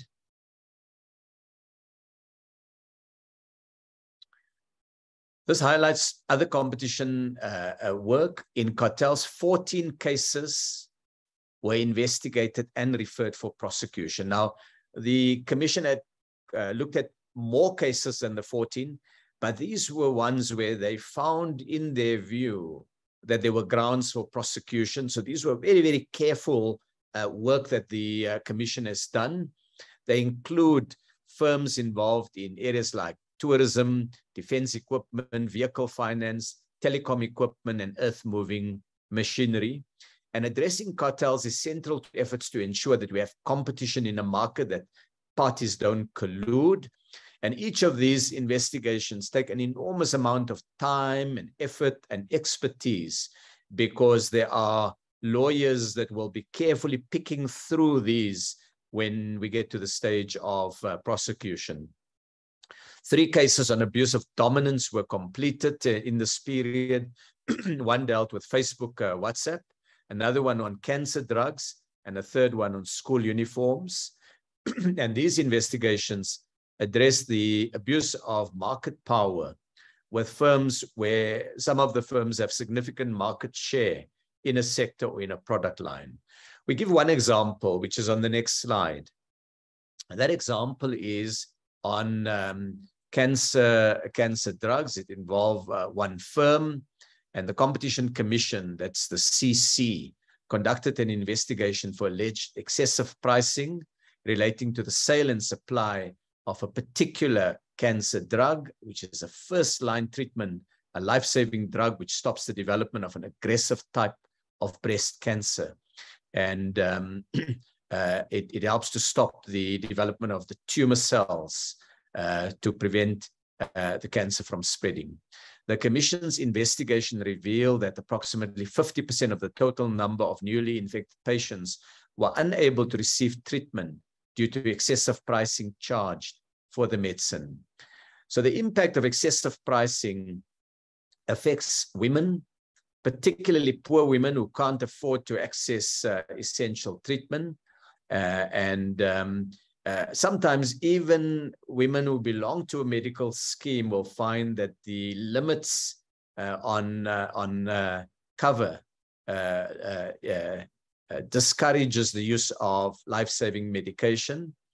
And the commission's finding said that not only was there uh, prohibited conduct under the Competition Act, but in the view of the Commission, it also infringed on several constitutional rights of South African citizens, and the matter has now been referred to the Competition Tribunal.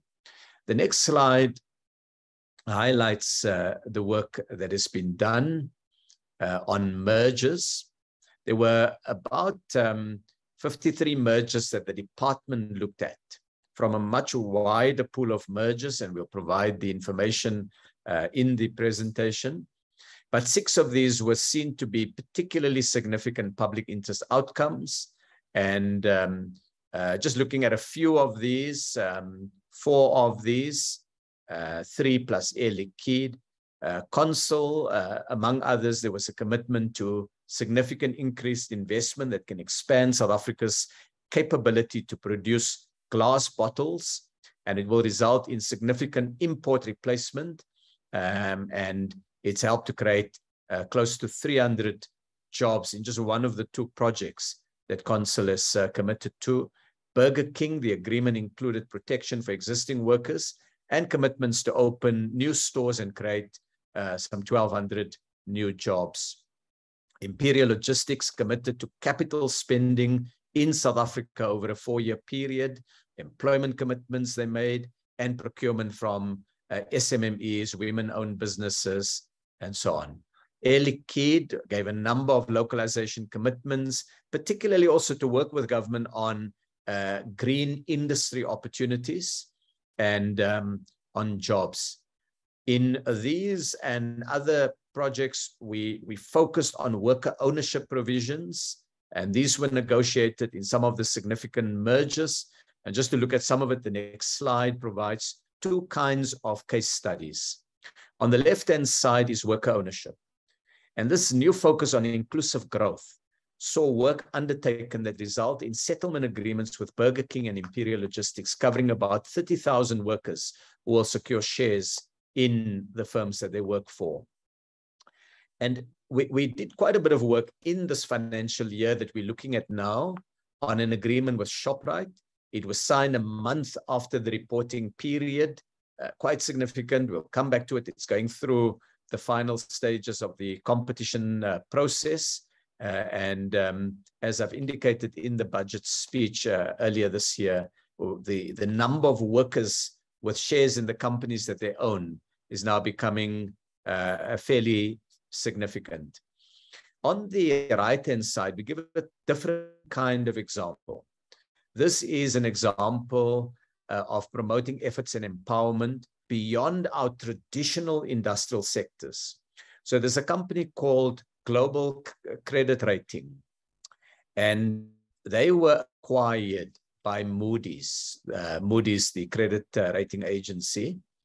And um, as part of the engagements uh, that, that Moody had with uh, both the department and the uh, competition authorities, they um, uh, agreed that a 20% of equity would be would be held by uh, Black South Africans, and this was held now by Afri uh, the an organization uh, of African women chartered accountants who have their own investment holding uh, company, and it gives female chartered accountants a a stake in quite a significant company in the financial sector. All of this was negotiated and finalized during the financial year, but the signing ceremony itself was on the 1st of April, which is the start of the new financial year. The next slide then goes into the uh, examples of trade policy. And trade instruments can be used to support domestic industries by leveling the playing fields with imports uh, and by uh, increasing the competitiveness of firms. So there are different tools in the in the toolbox. Some of them are tariff adjustments where our rates are lower than that uh, that we bound ourselves to in the World Trade Organization, and we've got policy space to increase it up to the the level that we're committed at the World Trade Organization. And uh, countries do this regularly. And so we implemented five uh, uh, tariff adjustments. Uh, these tariff adjustments were in products like tin plate cans, pails and aerosol cans, steel tubes and pipes, chrome grinding balls, foot operated grease guns, and safety headgear. But then we also have something called the duty rebate. The duty rebate is where you bring the tariffs down and you bring it down particularly where you want to lower the cost of an input where there's a lot of opportunity to expand your downstream sector and uh, you don't have a significant industrial interest upstream. So we reduce duties through a duty rebate on warp knit fabrics for upholstered furniture and for caustic soda that are used in um, uh, certain kinds of paper. We also implemented uh, a number of trade remedies one anti-dumping duty on pasta, two safeguard duties on bolt and set screws. Uh, there were also uh, sunset reviews of anti-dumping duties. This is where the period of the anti-dumping duty comes to an end and the authorities, the trade authorities look at whether to extend it based on the information at their disposal. And uh, some of these were put in place on wheelbarrows, on stainless steel sinks, on garlic, and on frozen bone-in chicken. Three provisional anti-dumping duties were also put in place on laminated safety glass, on uh, uh, clear float uh, glass, and on uh, frozen bone-in chickens. We've worked with companies to say, look, long-term trying to only rely on tariff protection is not a good strategy. We've got to increase the competitiveness of South African businesses. And one of the driver of competitiveness is investment. When a company gets a tariff increase and it relaxes, it's not modernizing its operations, it's not investing in new uh, equipment and machinery, then it becomes even less competitive. So for us, the sweet spot is to try to get both of those done simultaneously. So we've had commitments to increase investment by a number of firms uh, through the the uh, the measures that uh, ITAC has recommended, and um, the uh, ITAC uh, has reported that more than 25,000 workers were covered by firms who uh, uh, have directly benefited from the trade measures. Uh, they believe the figure could even be higher, but uh, they've put uh, that number forward as the minimum support for, for the trade measures that were, were, were granted. So this again illustrates the service delivery impact of our work. So while a trade measure, we measure, has there been a tariff uh, increase? Has there been a anti-dumping duty? Has there been a reduction in uh, tariffs on inputs through a rebate? But seeing what the impact is has not been what the department traditionally did. And in the 2021 22 financial year, uh, I have requested that more of that come out, but it's a particular focus on this new financial year that we're in. Slide 27 covers beneficiation, some of the work done on minerals by the IDC projects that will uh, help to um, uh, promote mineral uh, uh, development in high-tech batteries. Um, and uh, some of the examples are given there. Work that on the furniture industry that can use more South African trees and work in the clothing industry that can support local cotton farmers. The next slide uh, will provide the committee with um, information on a few highlights across the portfolio. We've tried not to cover uh, all of them just to give a, a, a, little flavor.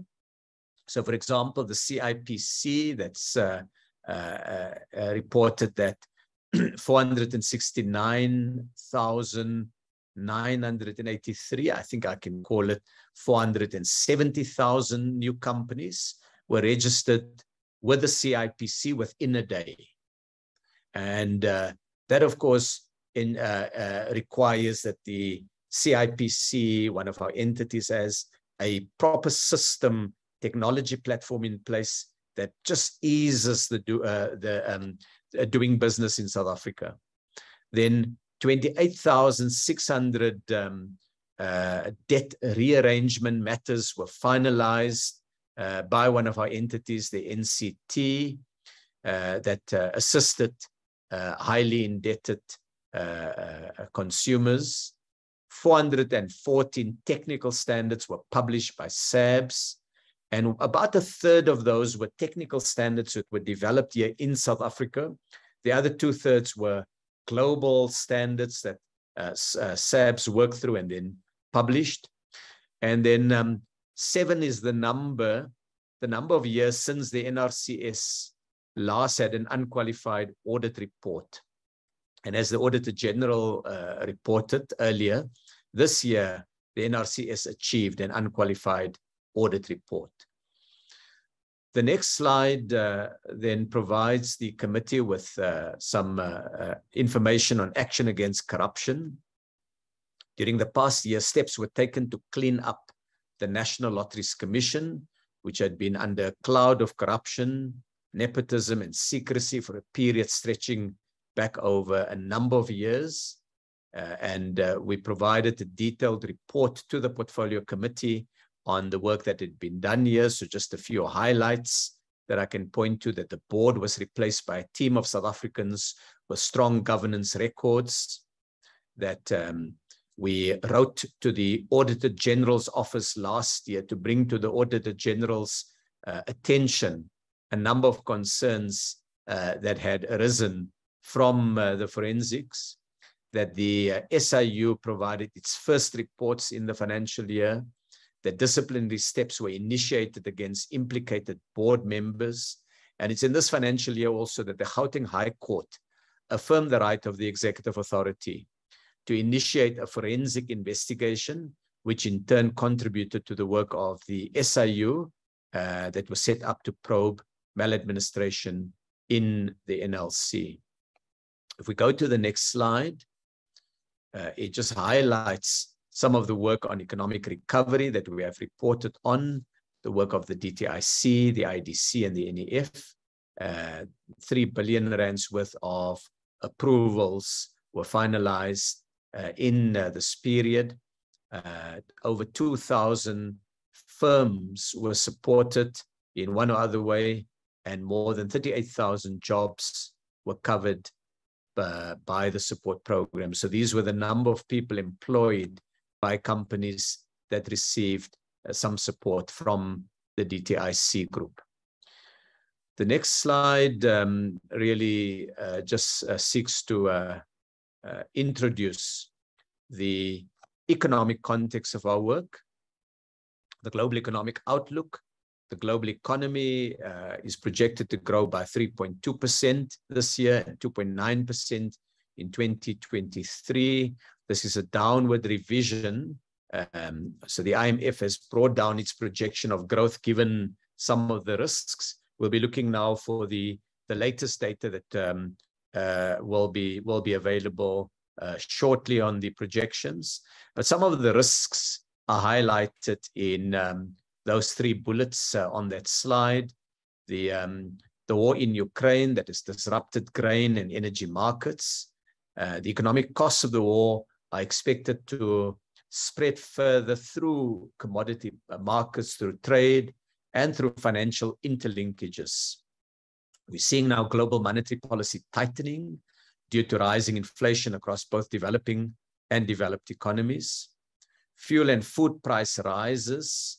We've seen that, which already having a global impact and I expect it to continue to have a negative economic impact on vulnerable populations, uh, particularly in low income countries, but also low income consumers in uh, middle income uh, and high income countries. We're seeing lingering COVID-19 effects in China and the rising monkeypox uh, infections. The next slide uh, then provides a little bit more information on the economic overview. Uh, it makes the point that the South African economy began to recover from the first wave of COVID-19. It grew 2.7% during the reporting period, and our GDP uh, was valued just over uh, 6 trillion rand in 2021 prices. Manufacturing exports were the highest in at least a decade. The agriculture and parts of the auto value chains had their best export performance yet.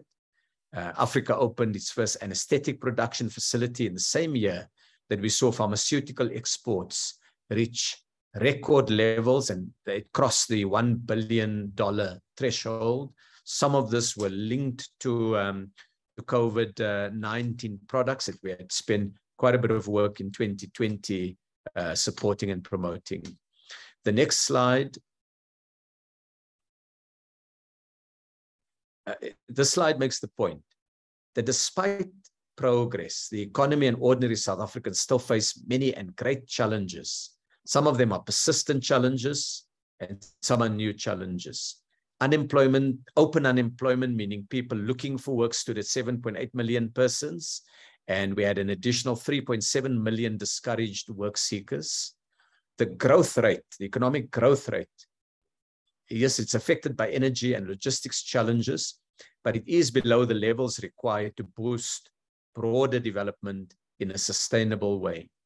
The past two years have also highlighted the risks that the economy face that require the department to develop a better way of de-risking the economy so we protect the livelihoods of all South Africans to build forward better. The next slide provides more information. It gives some information on the domestic uh, economic context. In the financial year under review, the team has extracted the information to show that growth was driven by six sectors, particularly high growth in transport and personal services. Uh, manufacturing grew by 1.1% and generated 744 billion rand in value add. Uh, and that growth was weighed down by declines in construction and agriculture in this period. Then manufacturing exports amounted to about 520 billion rand for the financial year, accounting for 27% of our export basket. And growth forecast for the current calendar year is 1.9% and for next year 1.4%. Of course, these will um, keep on being revised on the basis of new information. Challenges since the start of the reporting period, uh, three new shocks or headwinds that impacted on the economy. First, the July 2021 unrest in KZN in parts of Gauteng that led to loss of life and the destruction of infrastructure. It dented business confi uh, confidence and yes, it disrupted supply chains. The second one was the war in Ukraine that resulted in fuel price increases and rising costs of fertilizers, wheat, edible oils, and other foodstuffs. Now, those two were in the financial year. We've just for the completeness of, of, of reporting, we, we point out the floods on our eastern sea, seaboard in April, uh, at the end of the reporting period, led to loss of life and washed away homes, shops, factory assets, and railway lines. And it does remind us on the cost of climate change. The next slide.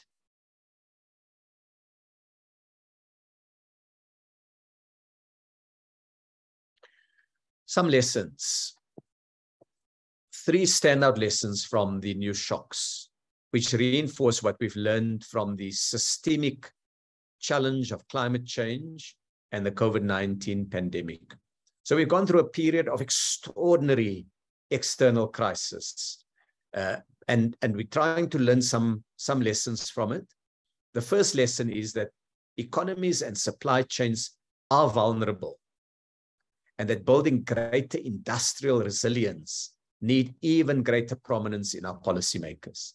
So while policymakers across the world have looked in the past only at the growth rate, more and more they are looking at how to build an economy that is more resilient, that can absorb these punches, these challenges without causing uh, very, very significant harm in a society.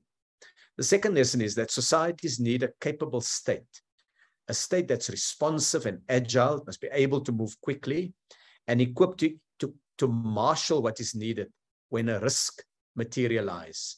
Because we we work on the um, uh, medium-term strategic framework and annual performance plans, very often the, the government um, system is designed on uh, a very thorough process of planning, getting everybody on the same page, allocating budgets, then beginning slowly to roll out services. And these typically get planned way in advance of a financial year. But what do we do in a world where things are moving much faster? Our systems really are not designed for that. And so part of what we need to do is while we recognize the need to work within the ambit of the Public Finance Management Act and all the staffing and other regulations that we have in place and all the um, the the uh, uh, regulatory requirements. The truth is that in a fast changing world, we need more agility. And that's really a very important lesson that we've learned from this period. The third lesson is that the absence of economic justice place the burden of climate change, of social uh, disruption, and of geopolitical tensions and disruptions on those in society that can least afford to shoulder those burdens. And therefore, a big part of our job, much as we're seeking to deal with the, the technical economic challenge, we also need to promote a broader economic justice um, agenda and ensure that there's fairness in the economy, that there's transformation, that there's an opportunity, opportunity for small business, that more South Africans are in sustainable work. Those are all quite, quite critical. So these were some of the lessons. Uh, honorable members, the next part of the report, which will start on the next slide, is the annual performance summary, looking specifically now at the annual report that was tabled and the work of the DTIC and its 10 uh, and its 10 um, programs or branches, as they are sometimes called. And uh, Chair, with your permission, I'm going to ask um, if uh, the Director General can take the Portfolio Committee through it. The DG can move with a little bit of speed, given that the the document has all the the detail in it and has been uh, circulated the annual report itself to members of the committee. But this presentation does help to summarize and show the overall trends. So I'm going to ask uh, Shabir Khan, uh, through you, Chairperson, uh, to take the floor. Thank you, Mr. Khan. Thank you, uh, Minister. Greetings, Honorable Chairperson, Honorable members of the Portfolio Committee, um, officials from the Auditor General, um, colleagues from the DTIC. Chair, the, the first slide um, on part B really sets out the, or provides a snapshot of the performance over, or since the start of the administration. Um, as members of the committee would know, the first year was a year in which both the DTI and EDD had separate annual reports. And the right-hand side of the slide really sets out the performance in that first year. In the 2020-2021 financial year, that was the first year in which both the former departments were consolidated. And of the 35 um, indicators and target in, in that year, 33 were achieved and two were not achieved. In the um, current reporting period, we do have 73 um, targets and of the 73 targets, 66 were achieved and seven were not achieved. The next slide really sets out the, or provides a high level summary of the 10 programs and the KPIs across the 10 programs together with the targets and the achievement across the entire department. The next slide sets out the seven targets that were not achieved. I'll start with the first one, which was an internal capacity building uh, target, which was not achieved primarily due to change in business requirements within the department. The review of the governance framework has been shifted to this or to the following financial year. Of the two master plans that were targeted in the last financial year, the Global Business Services was finalized and launched, whilst consultations on a further master plan was still underway. With regard to the product designations on building materials, the minister requested public consultation before publication, and this was not completed at the end of that reporting period. Under program six, which is the industrial financing branch, um, there was an action report detailing partnerships with, with private, private sector entities, and these activities were not signed off um, uh, within the reporting period. With regard to a, a specific target of, of, of statistical reports on companies' registrations from CIPC, one of the reports did not contain the required information on companies' registration within one day. And lastly, a report on active pharmaceutical ingredients. Um, that study, which was due in quarter four, was not produced due to non-compliance issues identified as part of the supply chain process. Next slide. Chair, um, this one is really uh, starting on program one. Very quickly, um, all eligible creditor payments were processed within 30 days. The target or on people and persons with disabilities was met as at, at the end of 31st March 2022. 54% of women in SMS um, positions were employed at the end of the reporting period, which was well above the annual target of 50%.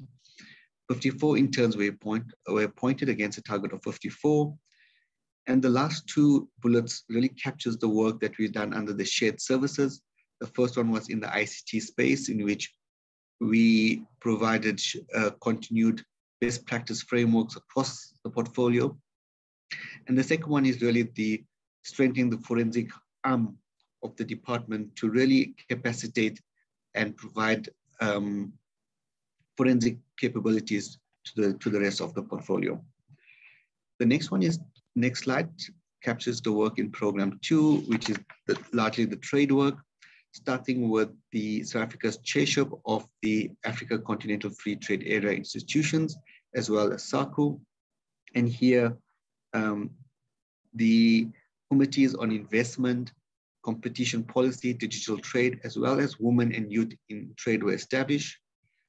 Um, we started negotiation on the AFCF CFTA rules on the protocol on intellectual property, investment and competition policy, the dispute settlement body and appellate body was established.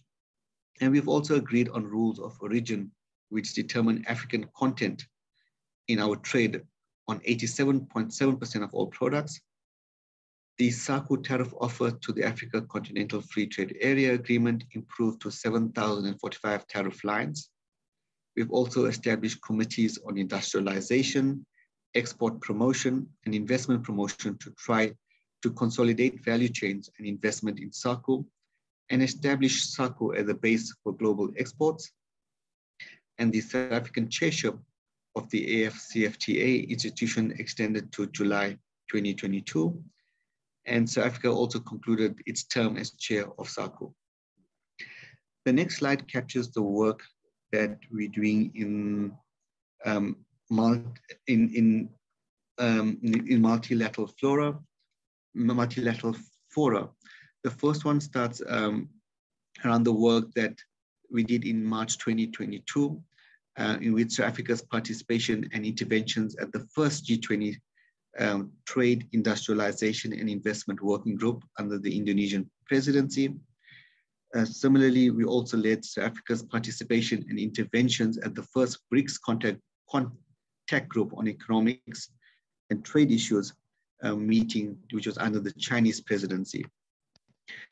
As previously reported at the WTO, we focused on advancing an outcome on the TRIPS waiver, which ensured that the IP rights do not unduly hinder access to medicines and medical technologies, thus enabling diversification of global pharmaceutical supply chains.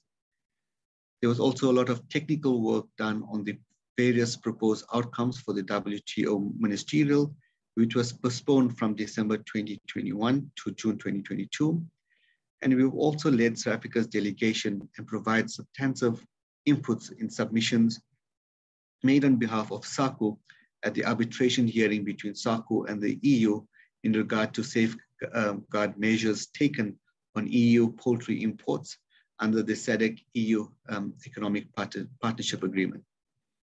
Um, we're also delighted to report that Rooibos was added to the EU Register of Products with protection with protected designation of origin, becoming the first product in Africa to receive the status and the 40th non-EU product. And the first draft of the trademarks amendment bills was submitted to the chief state, chief state law advisor for pre-certification. The next slide captures the work done within the USA market um, during the AGOA ministerial, which was held in October last year. The African Ministers of Trade, with concurrence of the United States administration, agreed that South Africa will host the next AGOA forum in 2023. South Africa, with its African partners, will seek to encourage the US to extend AGOA beyond its 2025 expiry date, which will also seek to improve conditions of access and ensure that benefits of AGOA continue. Sub-Saharan African countries also call for US support to Africa's industrialization and integration efforts, including the AFCFTA, and encourage increased US investment in manufacturing and infrastructure across the continent.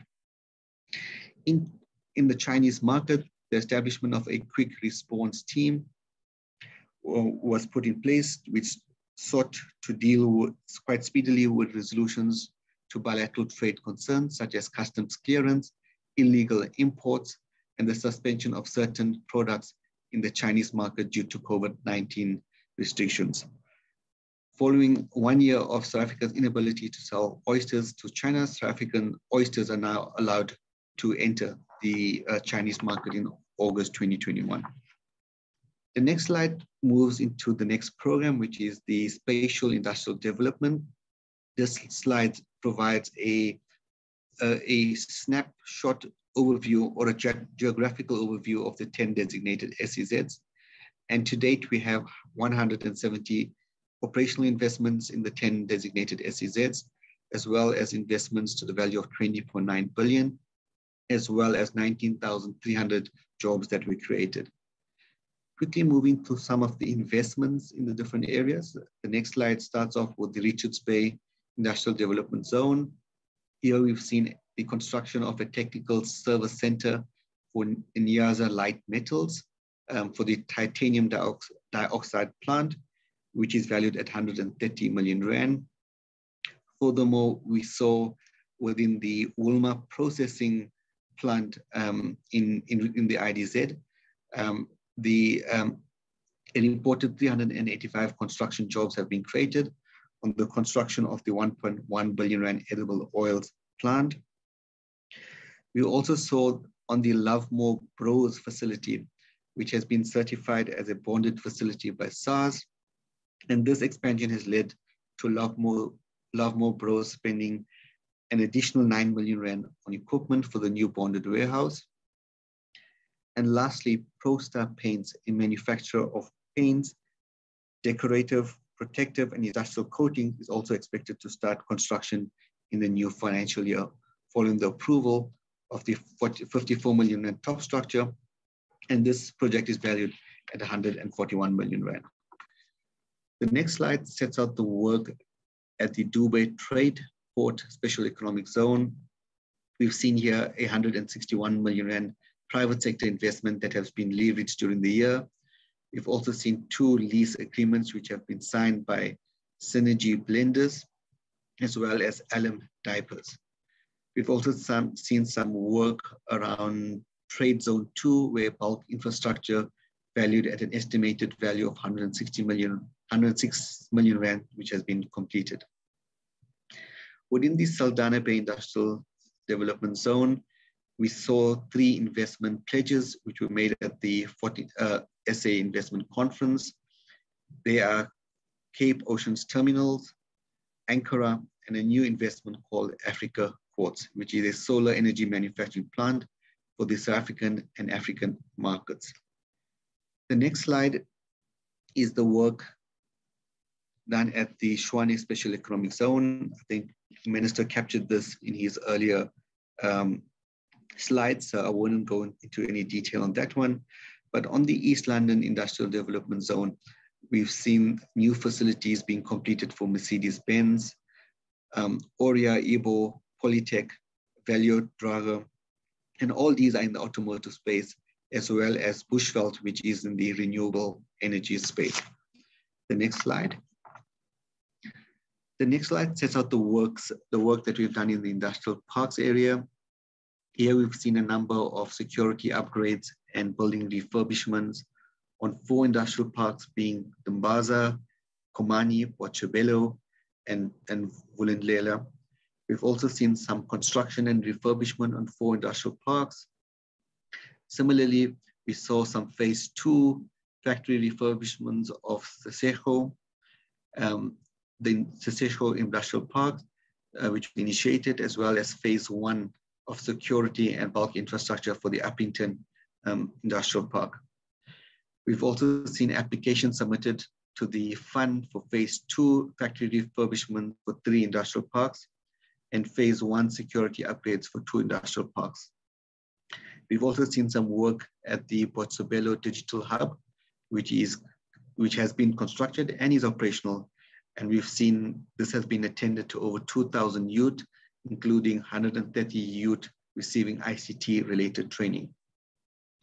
We've also seen a 2 billion rand total investment increase um, over a 12 month period, um, which we've seen investments increase from 4 billion rand to 6 billion rand over this reporting period. The next slide further emphasizes this point. Here we can see the um, the industrial parks across the seven provinces, and these total 13 um, industrial parks. Um, within these 13 industrial parks, there's 1,141 tenants, over 48,000 people employed across these um, 13 industrial parks, and total investments of, of 6 billion Rand across these industrial parks. The next slide.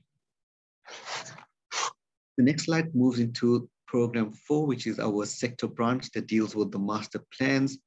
Um, I think um, the committee is familiar with the work um, that we're doing in this in this area, and literally, it's it's the work in this area is central uh, to the social compact between government, industry, and organized labor. The next slide sets out some of the key achievements in some of in, in the different sectors starting with the furniture industry, we've seen the FX group announcing its support uh, towards the expansion of board manufacturing. We've also facilitated access to markets for 10 design or manufacturing companies in the furniture sector. And we also collaborated with Proudly SA in which a furniture portal was launched to promote furniture localization. Within the sugar industry, reciprocal commitments and agreements were adhered to by all stakeholders. And here, really, we are referring to the commitments by business as well as labor and, and the government. We've also seen a partnership with Shoprite, in which the SA cane growers, with the SA cane growers on prioritizing the selling of locally produced sugar in its 1,189 stores. And we've also seen a 15% growth in local sales. On the poultry industry, um, we've seen the South African poultry industry pledging um, an amount of 1.5 billion rand by the end of 20, or they have pledged an amount of 1.5 billion rand by the end of 2022. And by the end of November 2021, the poultry industry has already invested 1.14 billion rand and created 9.8% additional capacity for emerging farmers. The industry also has invested in creating 120 tons of additional cooking capacity per week and the Animal Feed Manufacturers Association has reported an additional 2,000 jobs being created in the extended value chain. The next slide captures the work done in the metal fabrication, fabrication, capital and rail transport equipment sector. And here we are reporting that the minister, along with industry stakeholders from the steel and metal fabrication sector, signed a master plan, which has been developed in consultation with all stakeholders um, from industry in June 2021, and implementation is underway. Within the scrap metal intervention, um, here we are reporting the work done within the reporting period. Here, the, an export duty on scrap metals was introduced in the period, and through the ITA Act, price preference system was extended to 31st July 2023. The two instruments implemented concurrently ensures adequate quality of scrap metal is available at competitive pricing for local processing by steel mills, secondary smelters and foundries. And these measures will contribute towards local beneficiation of scrap metals and restore, restore supply chain stability in the, in the industry. In the textiles, clothing, leather, and footwear, here we're looking at um, some of the um, an, an, investment in Ga-Rankuwa, uh, Ga-Rankuwa by Bader SA with 800 employees uh, and, and an investment of 300 million in additional capacity to manufacture automotive leather and split leather. And we've seen another um, investor, uh, Neptune's Boots, in which they invested in additional production of 2,500 pairs of gum boots uh, a month. The next one is in the plastics sector, in which we've seen a number of investments here. The first one being Sizabantu Piping Systems with an investment of 70 million Rand. Another investment by Cospac, located in the Western Cape, made an investment of 3 million Rand. And we've also seen a, a, a further investment of 2 million Rand, which was, which, which was introduced um, for the trigger spray pump Another investment by Very Green, located in Pinetown, uh, which was pledged of around 2 million Rand. And lastly, Hoop, located in Cape Town, invested 5 million Rand, million Rand to put up tool, tooling using local engineering firm and license production to locally manufacture and to make uh, vaccine thermal cooler boxes. Within the pharmaceutical and medical devices sector, um, here in response to the inequality of, of access to COVID-19 vaccines in developing countries, and in particular Africa, Afrigen, the BioVac Institute, South African Medical Research Council, Council and a network of local industries were appointed by the World Health, World Health Organization in 2021 to establish its first MR, mRNA um, vaccine technology development and Transfer Hub. And it is a global initiative to enable sustainability, locally owned mRNA manufacturing capabilities in lower middle income countries, contributing to future pandemic preparedness. The next slide further uh, outlines the work um, in, in this sector. Here we are, reporting and the, the big investment by Aspen, which was a 3.4 billion investment that was announced in 2018. And this enabled the conclusion of a contract manufacturing agreement between Aspen and J&J for the production of the first choice COVID vaccine for the continent. And it also enabled the conclusion of a license agreement for the product, Aspenovax, the Aspen COVID-19 vaccine product between Aspen and J&J. To date, Aspen produced 225 million doses of the J&J vaccine over the past 17 month, months, making it the largest J&J contract manufacturer of the J&J um, COVID vaccine. And this has created a number of jobs and of course absorbed a number of existing jobs. Um, as the bulk of this investment was already contained in the 3.4 billion rand investment, the pivoting uh, towards uh, vaccine contract production required minimal investment by Aspen. Um, furthermore, new investments to expand vaccine production medium to long term will come into being in the context of the Serum Institute agreement recently signed between Aspen and the Serum Institute. We also seen Africa's first anesthetic plant was opened in October 2021 to produce proper full product for South Africa and global markets. Uh, in the cosmetic sector here, the um, department facilitated an accreditation program jointly with SABS where we've seen Johnson's baby um, South Africa was SABS certified, um, for uh, which means that the sanitary pads and baby diapers products will now carry the SABS approved mark. And this is the first company in Africa to get, to get this certification. In the green industry sector, we've seen some investments in the PV, solar PV manufacturing space. Um, namely um, two plants called Seraphim and Art Solar with an investment value of 500 million rand. We've also seen the publication of the green paper on electric vehicles for public uh, comment. In aerospace and defense, 149 highly skilled jobs were created through the Aerospace Industry Support Initiative and 20 SMMEs directly supported for technology enhancement, as well as standards and accreditation. The next slide sets out the work that we're doing within the Consumer and Corporate Regulation branch. Here is the work done on a number of bills, starting off with the Companies Amendment Bill, which was public for pu public comment in October 2021. And the review of these public comments was underway by the end of the financial year. The Liquor Amendment Bill is under also under review. And during the year, there was a large number of interdepartmental interdepartmental engagements on government, government measures and approach to liquor abuse.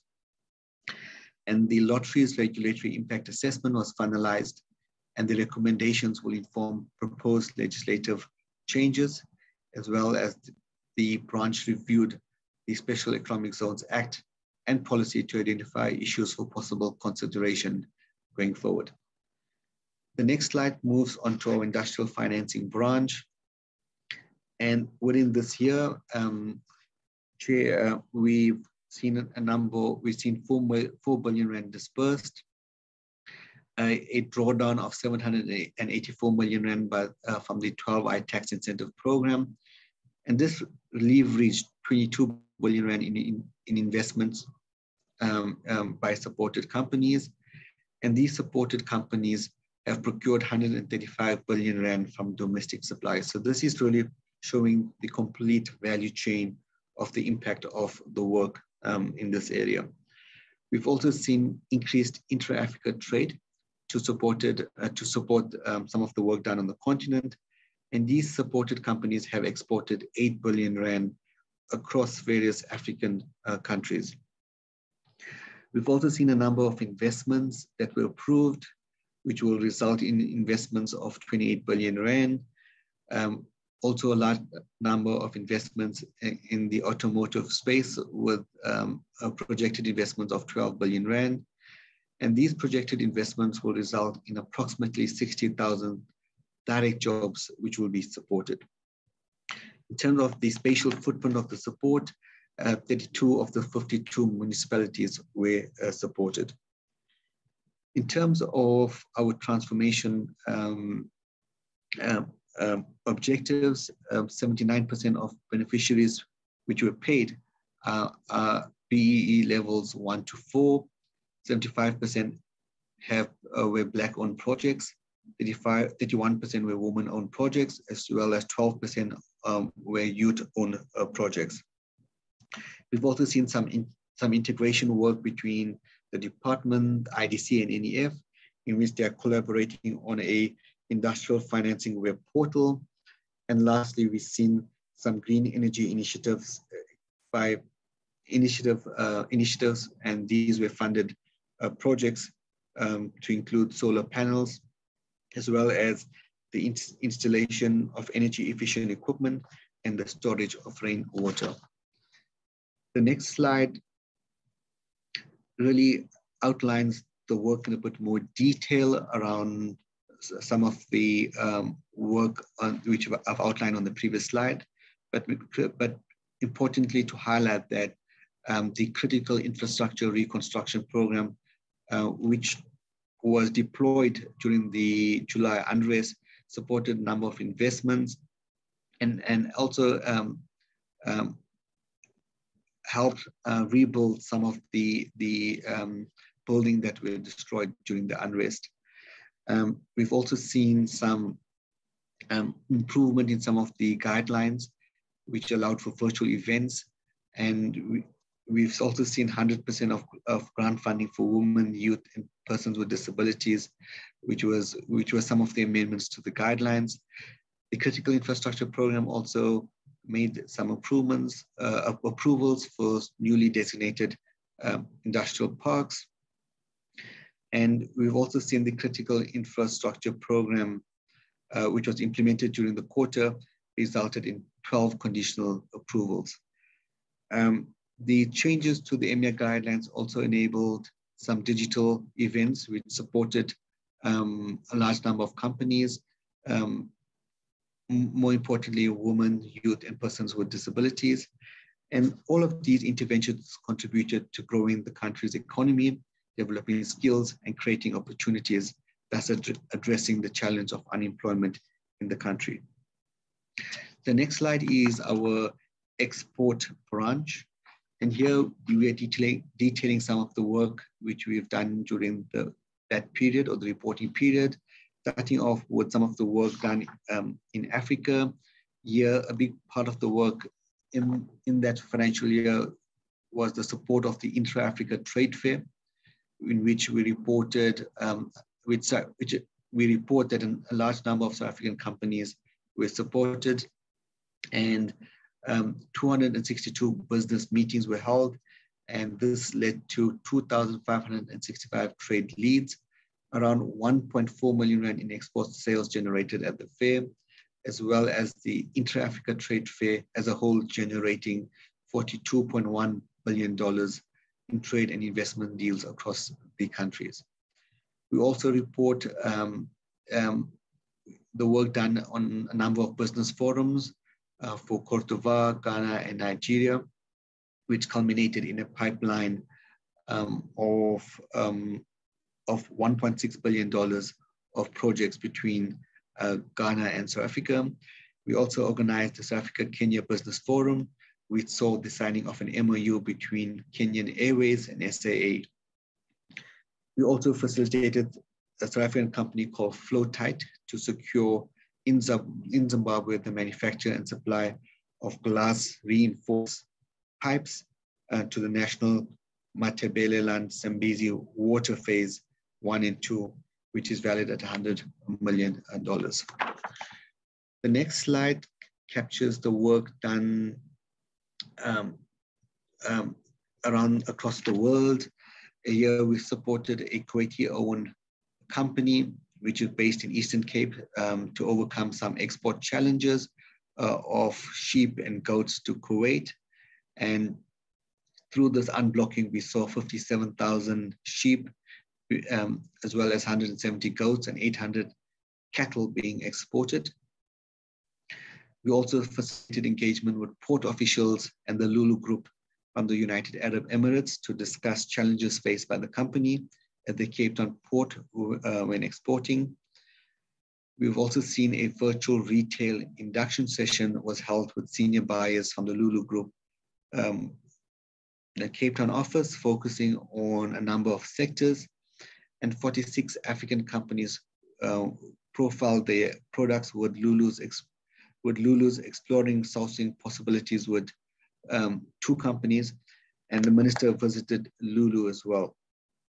We also facilitated the export of beef uh, for the company QK Meats to China. And QK Meats is a BEE company and one of the largest meat processing plants um, that needed to be re-audited by Chinese authorities. And through the, uh, the work between the department and Dalrod, um, the uh, company managed to get uh, re-audited and continue exports into the Chinese market. The next slide uh, continues with the work done. Here we've seen a, an agreement signed between Nexa, NECSA and the uh, Korea Atomic Energy Research Institute. Um, we've also seen a matchmaking session between a Swedish buyer and a South African company um, called Carpe Diem. Um, we've also seen, we also facilitated the Guinness Funds Group, which is a UK distributor, distributor of macadamia um, with an annual volume of 160, 126 containers, linking up the Green Farms Nut Company located in the in Mpumalanga province. We've also concluded an MOU between the DTIC and SIPO, which formed the basis of collaboration between the two parties for future export promotion activities. The next slide sets out the work which we've done at the Dubai Expo in here, um, once again, we're highlighting that the Dubai Expo served as a showcase to the world of the best of South Africa um, capabilities on offer in terms of trade, investment, tourism, as well as sports and, and arts and culture. In addition to the physical pre uh, presence, there was also a number of offsite activities, as well as a webinar, as well as virtual exhibitions and shopping, online shopping platforms. And these platforms allowed more than 100 companies to exhibit, with 36 companies added to the existing membership of Proudly SA. The sector's profile included agriculture, agribusiness, clothing and textiles, automotive, and so on. Although the expo was primarily not a trade show, um, South, Africa particip South Africa's participation generated close to 90 business leads, with early examples of actual returns, including an Emirati company called Velocity Ventures announcing a 250 million investment expansion in South Africa to produce steel coils. Six SMMEs securing 145 million uh, from international invest investors after they were selected to pitch um, to investors using the South African platform. 12 South African artists received a 1 um, million dirham in performance fees from events linked in at the expo. And the UAE-based store Hyperama selling South African products increased their monthly turnover by 1 million dirhams. A, um, we have also seen a South African company, um, Rooibos company, um, receiving a number of orders. And also during the event, um, we've seen a number of orders generated during uh, through the online shopping platform. The next slide is large, it's the export development work. And here, through the exporter development program, we've seen a number of um, individuals being um, being trained um, through the uh, companies uh, that were trained who attended the export awareness session. 205 individuals went through the intense global exporter program, as well as 65 individuals recruited from the GEPP graduates who went through the mentorship program. And this was really a strategic partnership between the DTIC and the German development agency called GIZ. The next slide moves. Uh, Mr. Khan, I see you have just under 20 slides left, and I think we're going to be running short on time. So if we, you can just uh, gallop through and just highlight the most important information, because this presentation has been circulated to members. We want to leave enough time for discussion. Thank you. You may proceed. Thank you, Chair. Chair, I'll move quite rapidly along. Chair, Program 8 is our investment branch uh, called Invest SA. And through the work of Invest SA, they developed a 166, 176 billion rand pipeline. They also co-hosted the uh, fourth South African Investment Conference. And we've seen a number of um, unblocking work that they've done during the course uh, of, of the uh, work program, which looked at um, visa facilitation, intercompany transfers, as well as critical skills. The next slide, Chair, sets out some of the details of the work done under this program around the unblocking. So we can move on to the next uh, two or three slides, um, which really sets out the, the work done in this area. Under program nine, which is the competition branch, Chair, um, um, here we report a number of mergers in which the department participated in terms of section 12A3 of the Competition Act. And during this financial year, the minister was notified of 290 mergers. Of these, the DTIC participated in 53. The next slide sets out some of the mergers in which the DTIC has um, participated in with significant public interest outcomes. Uh, the first one being Consol, and Minister has already outlined some of these, just to highlight some of the big investments coming through as a result of, of these mergers. We've seen um, the 1.5 billion rand investment in the N2 furnace, and a similar investment will be made uh, uh, at the N3 uh, furnace. The next one slide captures the work done between the DP World and Imperial Logistics merger, which was finalized in quarter four. And here, um, the key highlight is um, a ESOP of 5% of South African workers um, as a result of the merger and a 2.1 billion rand capex program over the next four years. Um, the one on between ECP Africa and the Burger King merger, here we've seen also an ESOP, which was created. And we've also seen an investment of 500 million rand to establish 60 new Burger King stores um, across, the, across the country. The next slide um, is really the work done. Um, the next slide, Sulu under the presidential employment stimulus. Um, um, this is the work that we've previously reported on. And here, this was a work program that was approved during the adjustment budget process last year. And we really got funding through, um, through the adjustment budget at that point in time. Monies was transferred into IDC in March 2022. We've seen the first disbursements in the current financial year in June, and currently 44,000 participants are currently enrolled on the system. Program 10 is the research branch, and this slide really sets out the work done within the research uh, program. If we can move to the next slide. Um, this slide further um, highlights the work done on the import tracker reports, as well as a report on executive pay ratios, and lastly, the quarterly analytical reports that came um, out of this branch. Chair, I'm going to quickly move on to the part three, the financial performance. Um, next slide. During the financial year, we had a budget of 11.6 billion rand. And of the 11.6 billion rand, 1.9 billion rand went towards the infrastructure programs, namely SEZs and critical infrastructure or the industrial parks program. We've also seen a net asset value in terms of balance sheet of 1.4 billion rand, as well as a contingent liability of 8.7 billion rand.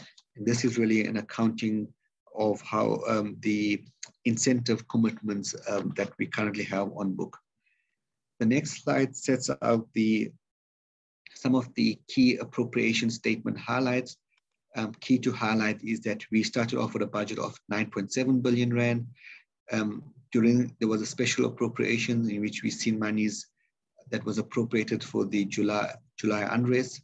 And lastly, um, we've seen further funds being appropriated as part of the uh, Social Employment Fund. The next slide. The next slide is uh, literally setting out the, the budget and, and the expenditure uh, to date.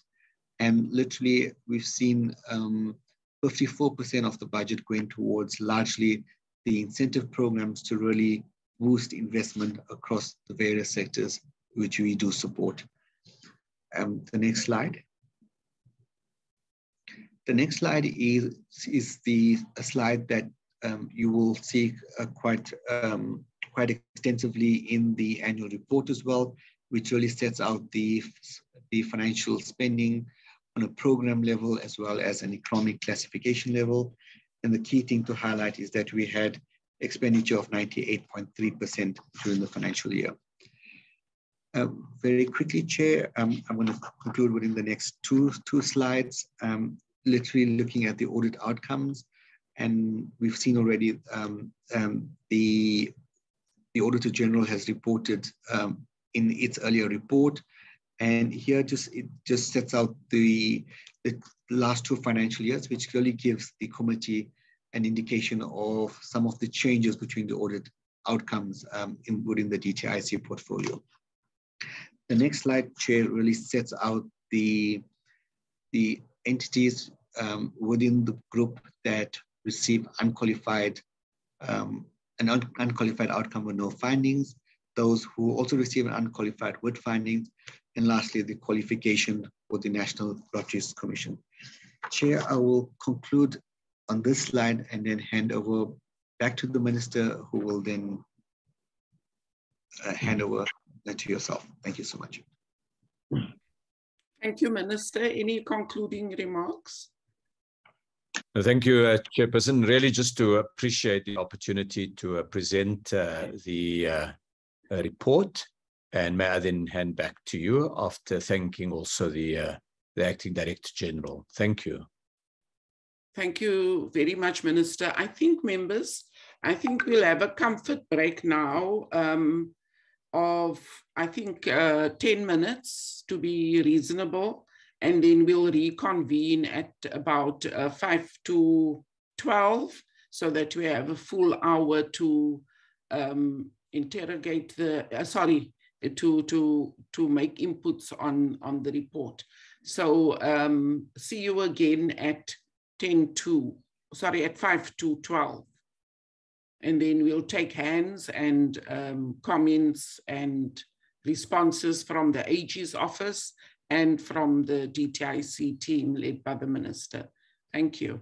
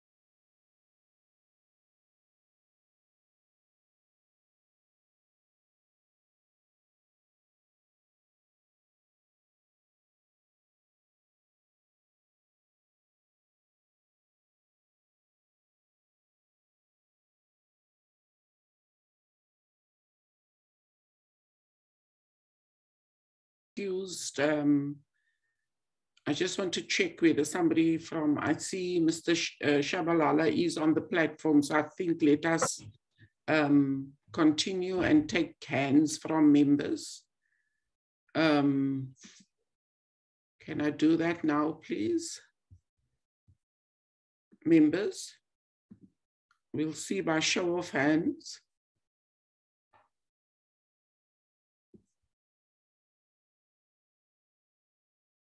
Mr. Madamatia, Ms. Mutahum. Yes. Prince Burns-Ncamashe. Yes. Mr. Thring.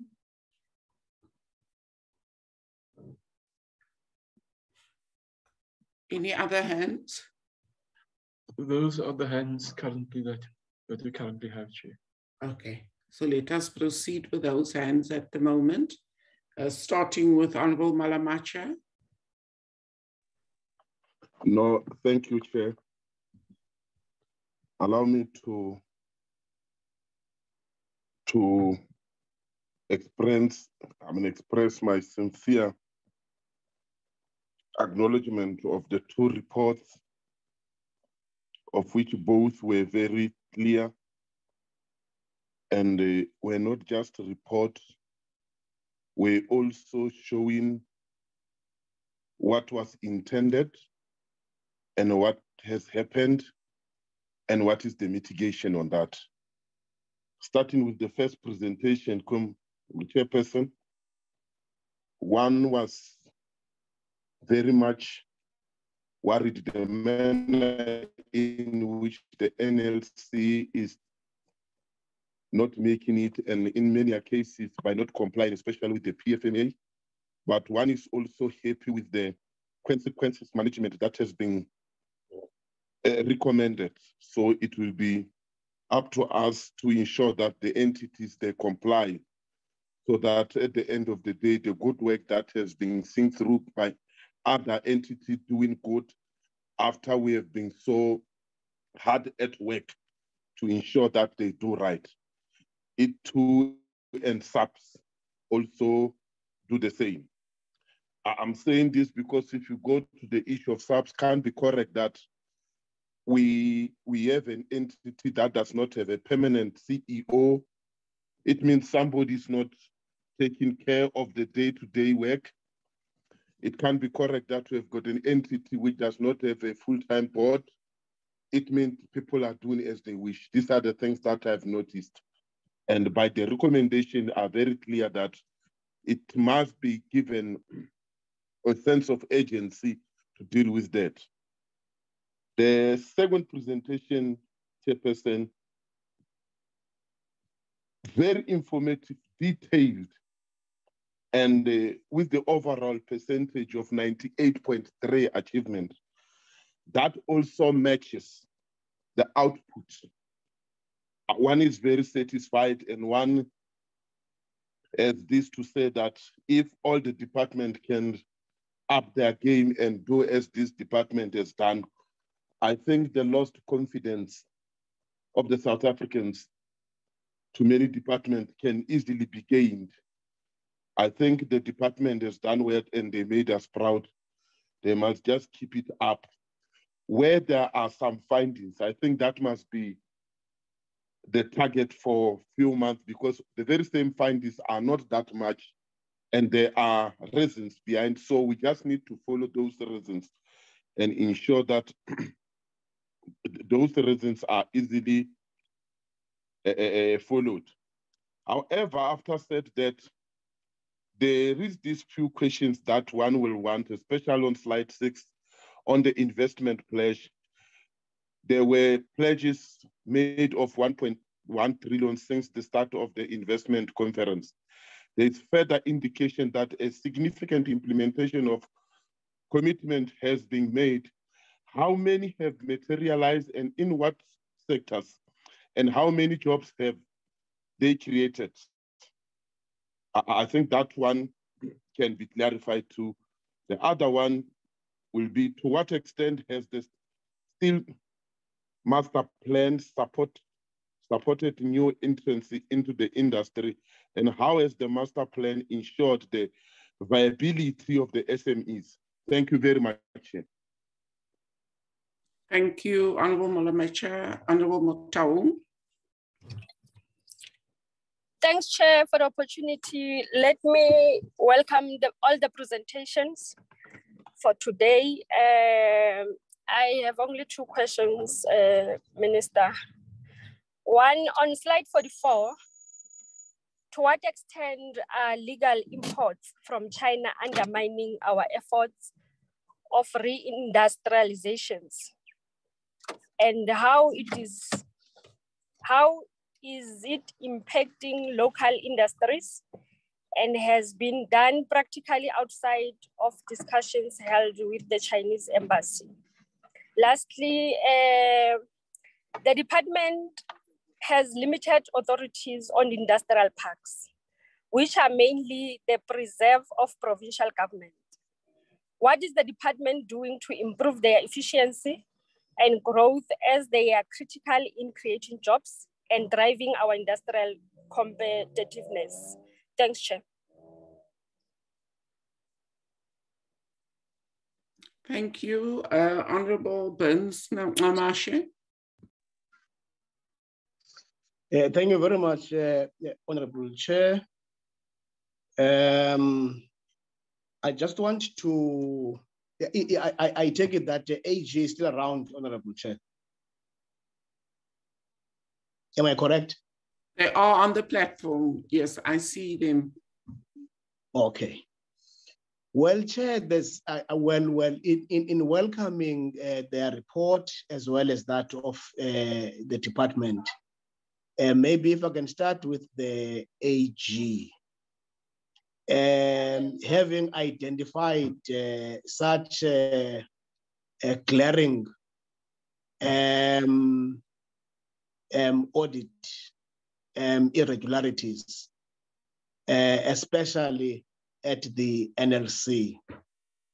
Um, is there a system through which they can readily identify some of these challenges within real time? Um, you know, because sometimes uh, sometimes, um, you know, this thing of uh, identifying uh, challenges after the fact is really becoming a problem. Um, um, I, I, just want to check if uh, there could be a system which could um, uh, mitigate, you know, and or uh, circumvent uh, some of these weaknesses in such a way that um, um, instead of um, finding ourselves deep into wasteful and or irregular expenditure, there's a way to avoid that. And, and then in, in respect of the department chair, um, the, the, the, the, the, the, the pandemic uh, which is COVID, as well as the conflict between Russia and Ukraine, you know, have actually demonstrated the extent to which South Africa um, should build internal resilience and self-sufficiency um, so as to reduce uh, dependence on imports. You know, uh, one of the ways to achieve this, of course, through localization and beneficiation.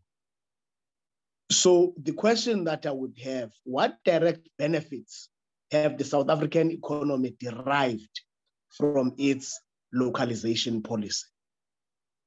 Um, of course, we, we, we, this could also be looked at in terms of uh, what is the impact of uh, the structural adjustment program, as well as the sovereign debt and conditionalities posed by such uh, institutional arrangements in respect of these uh, international monetary organization, be it IMF or World Bank, in ways that contribute to the deregulation.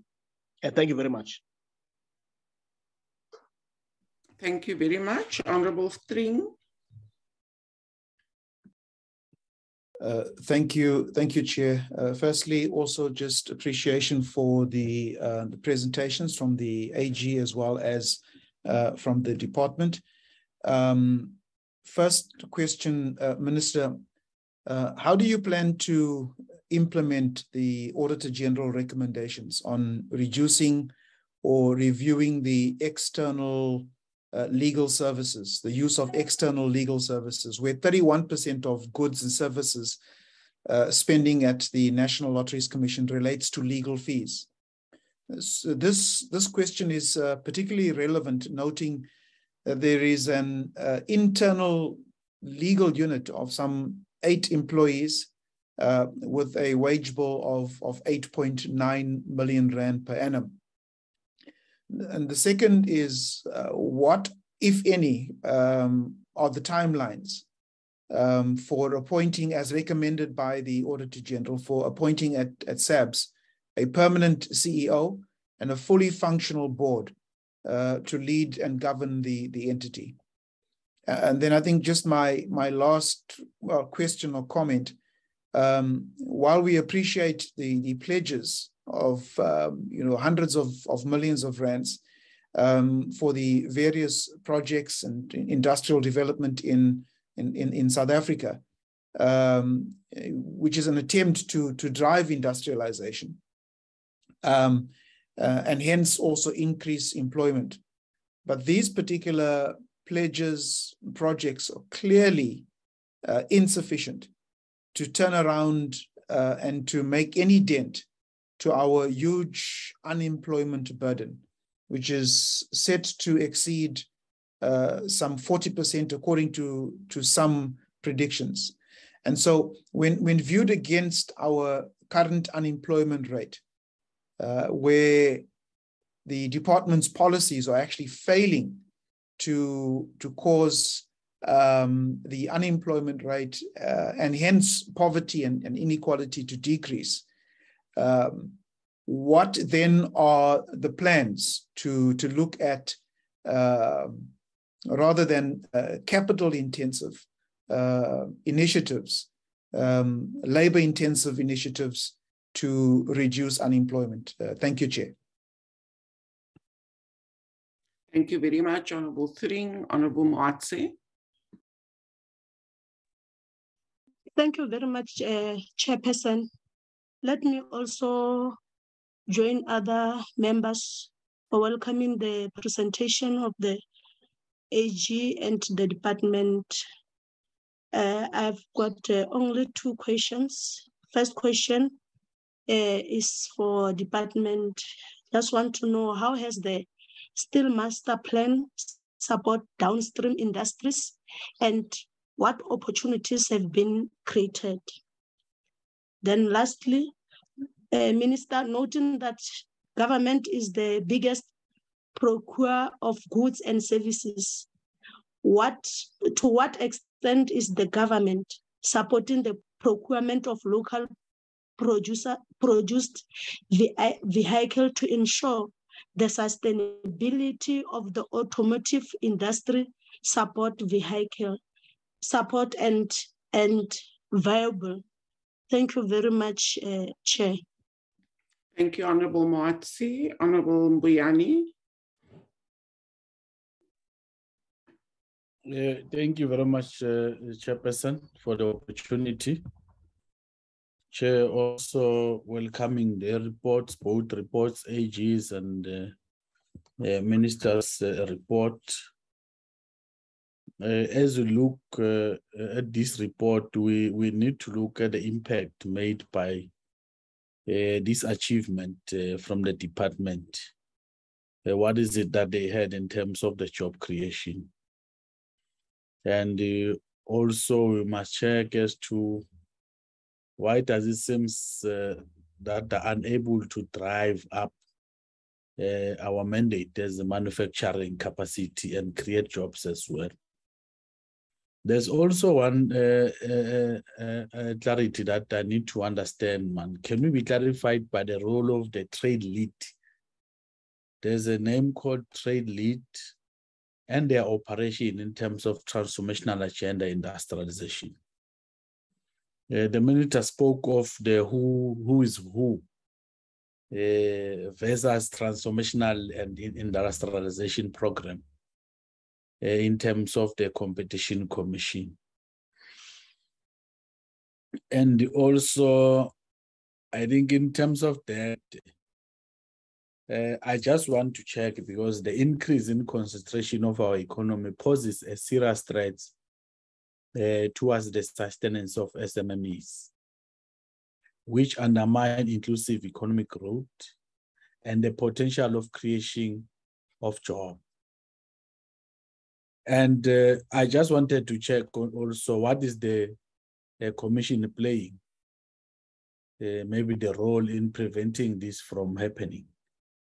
And further, what collaborative efforts have been uh, the commission undertaken with the relevant stakeholders to ensure that SME are not look, locked out of participation in the uh, main in inclusive economy maybe the department, there's uh, proactive measures that are being adopted by the commission to ensure that markets uh, do get overly concentration, concentrated maybe.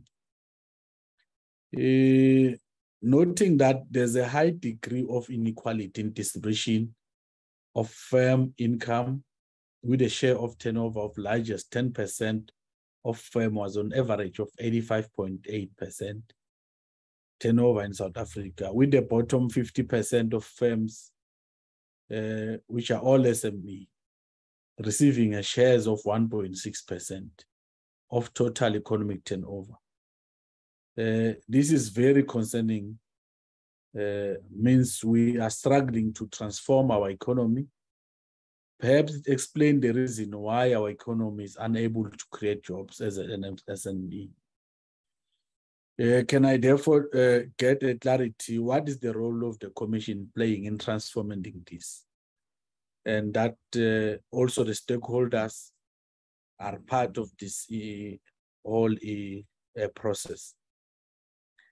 There's one disturbing issue, Chair, in terms of the concentration of transformation. In the real estate and the services sector, the three largest made of 59 uh, or 60% of assets under management of 13 listed firms. The sector is also highly concentrated, notwithstanding in the fact that all real estate firms are listed. And this may not be correct reflection of the reality. However, the commission considered conducting a market inquiry into real estate sector in terms of the section 43b1 of the competition act to consider whether there's any distortion or restriction of competition in this sector of the real estate sector. Thank you very much, uh, uh Chairperson. Thank you, Honorable Biani. Honorable Macpherson. Thanks so much. Um, just sort of a broad, uh, overarching question for the Minister if things are uh, as well functioning and well put uh, by the department today, um, what is the minister's view in the that not translating into economic growth and uh, job creation? So, so, so where is the the missing link into how well the department presents its performance and what that actually translates into economic realities. And maybe if he could just give us what his view might be for, uh, for what is missing or why it is not translating into economic growth and job, creator, uh, job creation. Um, I'd also just like to know where the auto green paper um, adoption um, in terms of uh, cabinet and progression on that fits into uh, into the presentation today and whether that is linked to a performance uh, outcome because that is outstanding for, for more than a year. And then I'd also like to know where um, trade agreements fit into uh, uh, uh performance indicators, particularly the review on AGOA and the EPA, uh, because those are coming up pretty quickly. And, and, and how does the department measure its performance in securing a um, renewal uh, of those agreements. And then lastly, with respect to the investment drive, the numbers we're told, what percentage of the 1.1 trillion is actually brownfields investment? So brand new, uh, completely new, never been in South Africa before versus investment in existing projects and investments that were scheduled by businesses to take place already. So that's the first one and 1.1 leg of the question. And the second is, do you think it's right to measure government entities uh, expanding their investment, which is essentially taxpayers' money being used to create the impression that there's investment in those. So, like Transnet, uh, as an example, and some of the others that are often cited as investments. So, those would just be my questions. Thanks. Thank you very much, Honourable Macpherson. There being no further hands, I would just like to add that as the uh, portfolio committee, I think we will keep a special eye and work out a roadmap for, for the NLC in terms of our oversight role, because it is concerning what we see there, what we hear from the AG and from the annual report. And then I think for me, um, is there any way we can um, strengthen um, our our uh, executive authority or any, any way we can strengthen our hand in the way industrial parks are managed because we know that many of them are not um, functioning optimally because we saw the report, the overall report on, on in the annual report on industrial parks, but obviously we don't see it against uh, what was there before. Because, for instance, when we did oversight at Ekandustria, we first of all found out that the, it, the, the industrial park falls under Mpumalanga, but they pay services to, uh, to uh, Tshwane, um, and that there was quite a high vacancy rate and vandalism of, of, of existing infrastructure.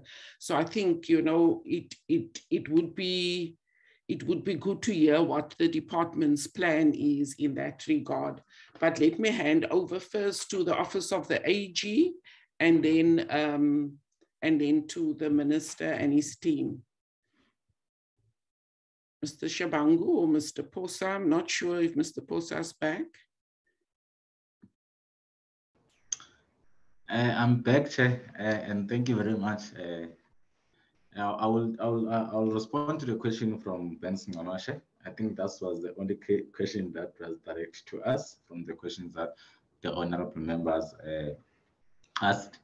Uh, and the question was on the irregularities identified in LC and if there are ways or systems that we can perhaps help to identify these challenges uh, within real time and because of the after effect, effects of the audit, identifying them might be a, a little bit too late. So I think the, the, the response to the question is firstly by the nature of our work of our regulatory audit, it always going to always going to be an after effect because we will be auditing reports that have to be prepared in terms of the financial statements and also for the performance report.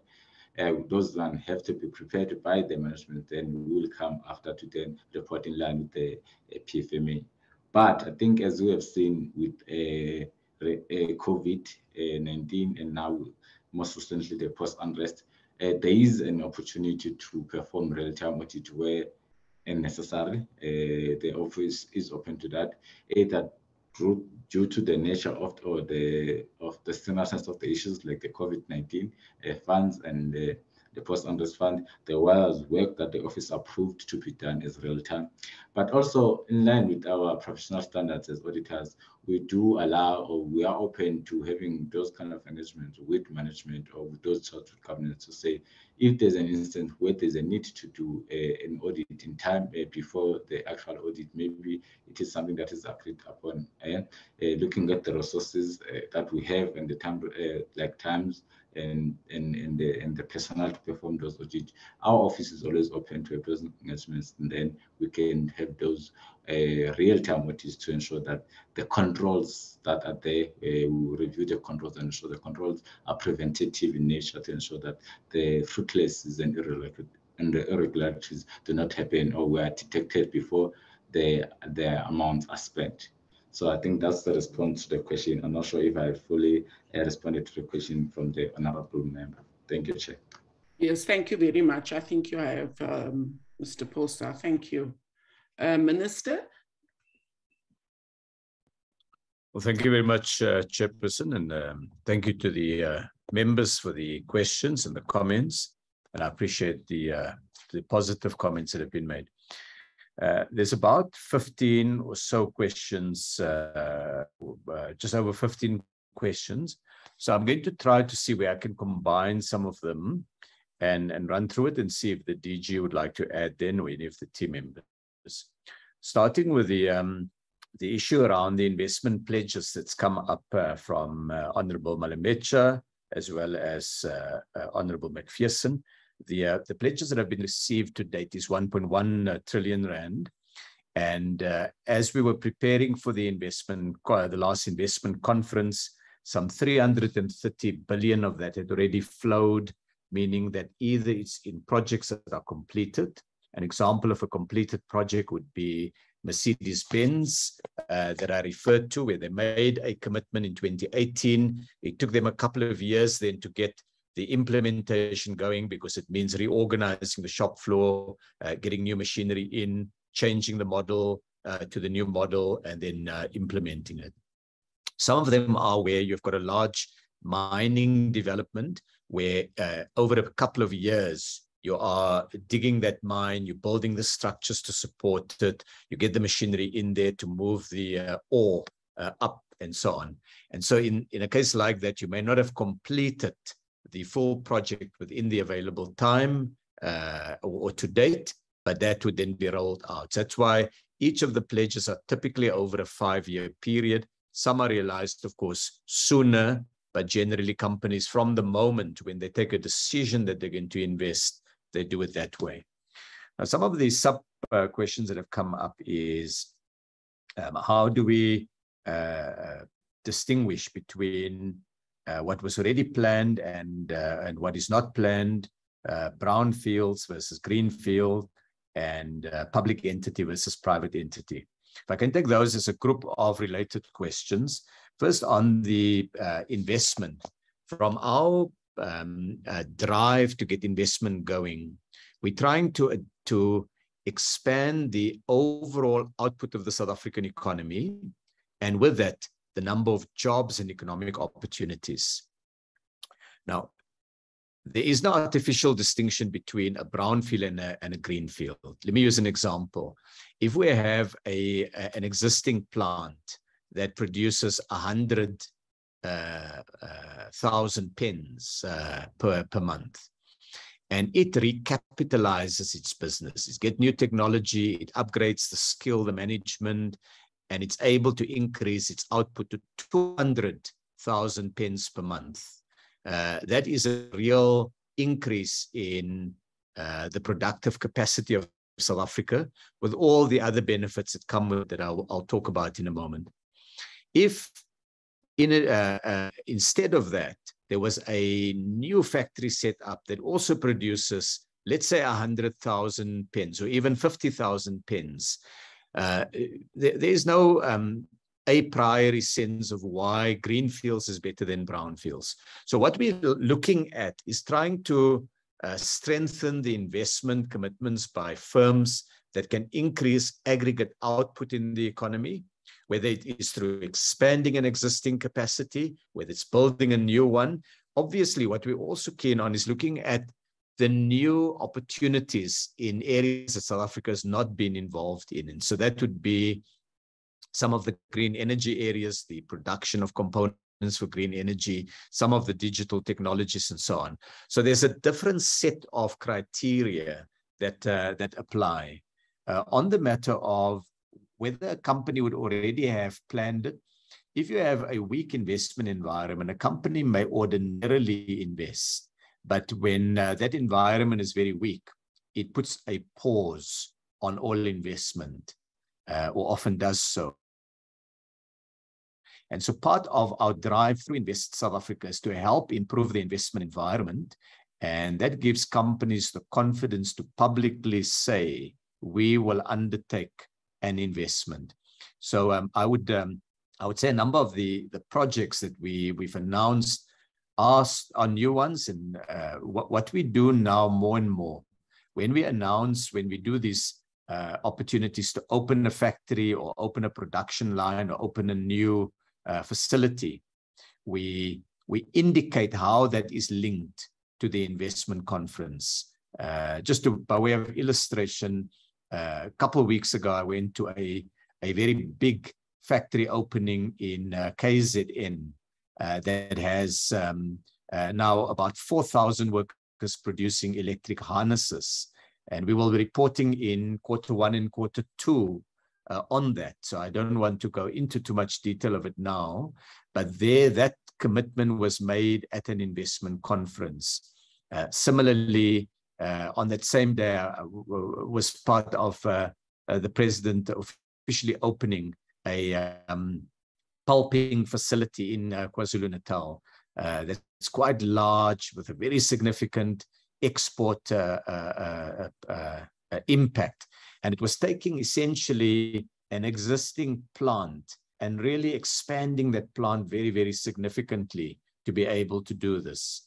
Uh, and, and there are many examples. So we are going to, in the reporting for, for the um, uh, six month period uh, we're working on now, we're going to, to indicate the connection between what we announce and the investment conference. It's typically done in the speeches at these events, but those speeches don't always, or that part is not always in the public domain. The media may not cover that particular part. So we're going to do more on that.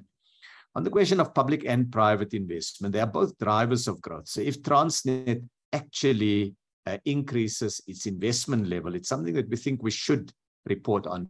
And what we've seen in the last, um, uh, in the period from about 2015, 2016 was a sharp decline in public investment, which um, uh, most economists would say is one of the contributors to, um, to slowing economic uh, growth. We had quite a significant boost in infrastructure spending from the period of about 2008, 2007 through to about 2014, 2015.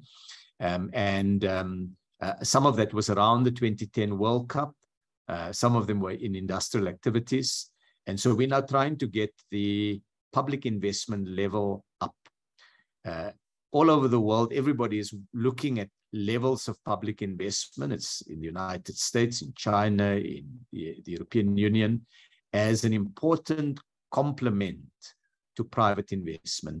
So I think, Honorable Macpherson, yes, I think it is helpful and valuable that we increase public investment. In fact, part of uh, Eskom's challenge and storyline is the weakness in maintaining the levels of investment that's required in maintenance of its plants. Uh, and, uh, that's come back uh, to significantly impact performance of its plants. Very often they break down because we haven't done the necessary investment to upgrade, to improve, to do maintenance and so on. So investment is not only about greenfields, important as it is, it's also these uh, complementary uh, levels of, um, of investment that together uh, ensures that we're able to achieve what we need to achieve. Then Honorable Malamecha also raised the uh, question around the SABS board and uh, it was picked up also by Honorable Thring.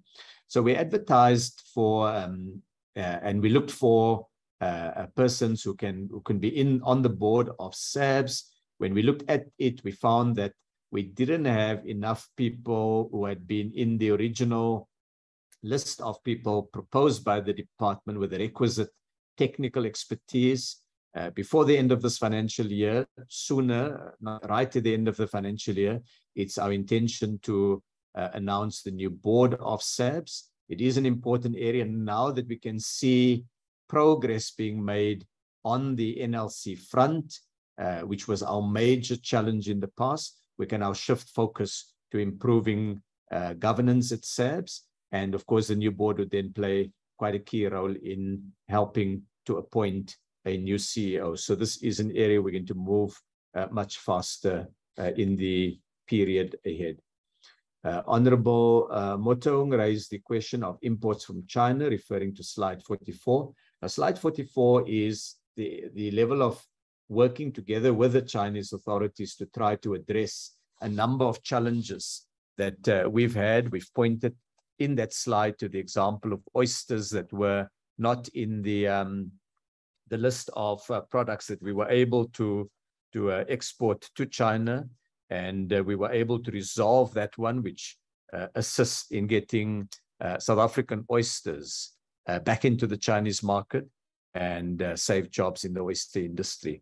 We've raised concerns around illegal imports. We had some collaboration with the Chinese authorities in dealing with a group of uh, companies that imported from China and they just completely misrepresented the value of the products. And uh, we received information from the Chinese authorities that were used by SARS in court. In fact, I will be um, uh, asking that that particular matter be reported to in the Q1 report because we got the court case was resolved in uh, in June this year, if my memory serves me. So that's an example of where we try to work with trading partners to resolve some of the challenges. Honorable Motaung raised the issue of industrial parks, uh, which was a point picked up also, Chairperson, by yourself. And essentially, it is one of the uh, challenges we've had with the the um, uh, the fact that national government has very limited power on industrial parks.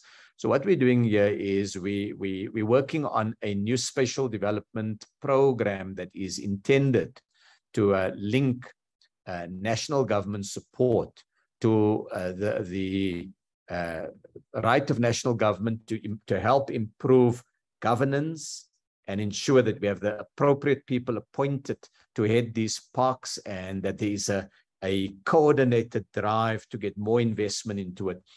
Uh, in a number of uh, instances where the deputy ministers, Deputy Minister Majola, Deputy Minister Gina have visited these parks and they've um, shared the outcome uh, with me, uh, we, we can see that many of the parks have just not been maintained well enough that investors would want to use them.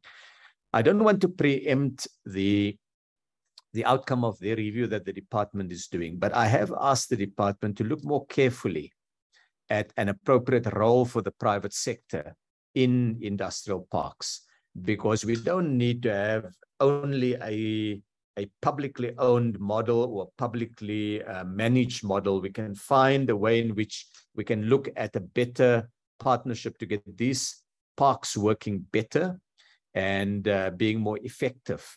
Now, of course, we do need the buy-in of provinces and in some cases local authorities. Uh, so it is a process of engaging with them. But uh, at some point, um, uh, we are going to have to finalize a, a view on it and then uh, adopt that policy after taking it through cabinet and then make that um, the new basis. So, Chair, both you and Honorable Motaung has raised uh, I think, a, a, a, focus on an important area. uh, Honorable Burns Amashi on the benefits of localization policy, which is, I think, what the question is directed to us. Uh, th there's a number of, of real benefits.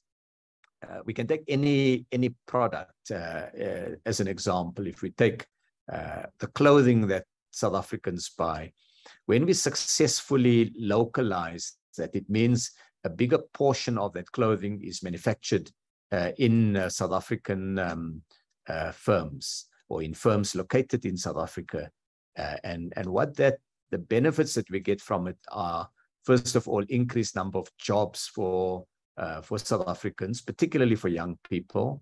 The second one is we increase the GDP output uh, of the economy, which helps in a number of ways. One of it is that uh, a growing economy allows the fiscus, the uh, receiver of revenue, as they used to be called, uh, now the South African Revenue Service, to uh, be able to get a higher tax take, which assists then with um, payments for hospitals and um, uh, water infrastructure, energy infrastructure, all of the things that the state pays uh, for. that's enhanced when you have greater output. Uh, also, localization helps to provide more economic opportunities for small businesses and for new entrants uh, in the market. And above all, it, it helps to provide greater resilience uh, in the economy.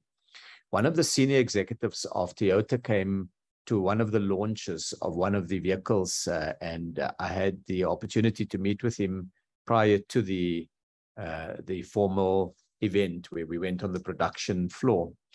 And he said to me that uh, when South Africa raised the localization issue a couple of years ago, uh, Toyota accepted that that's a new framework and they started to work with it. And they said one of the benefits that they believe they're getting from it is by having a local supply chain in an uncertain world where supply chains are disrupted, it gives them uh, uh, uh an edge, uh, an advantage. And that was one comment. We've heard more and more of those kind of comments as I've engaged with uh, global businesses who have operations in South Africa. So there are all these benefits.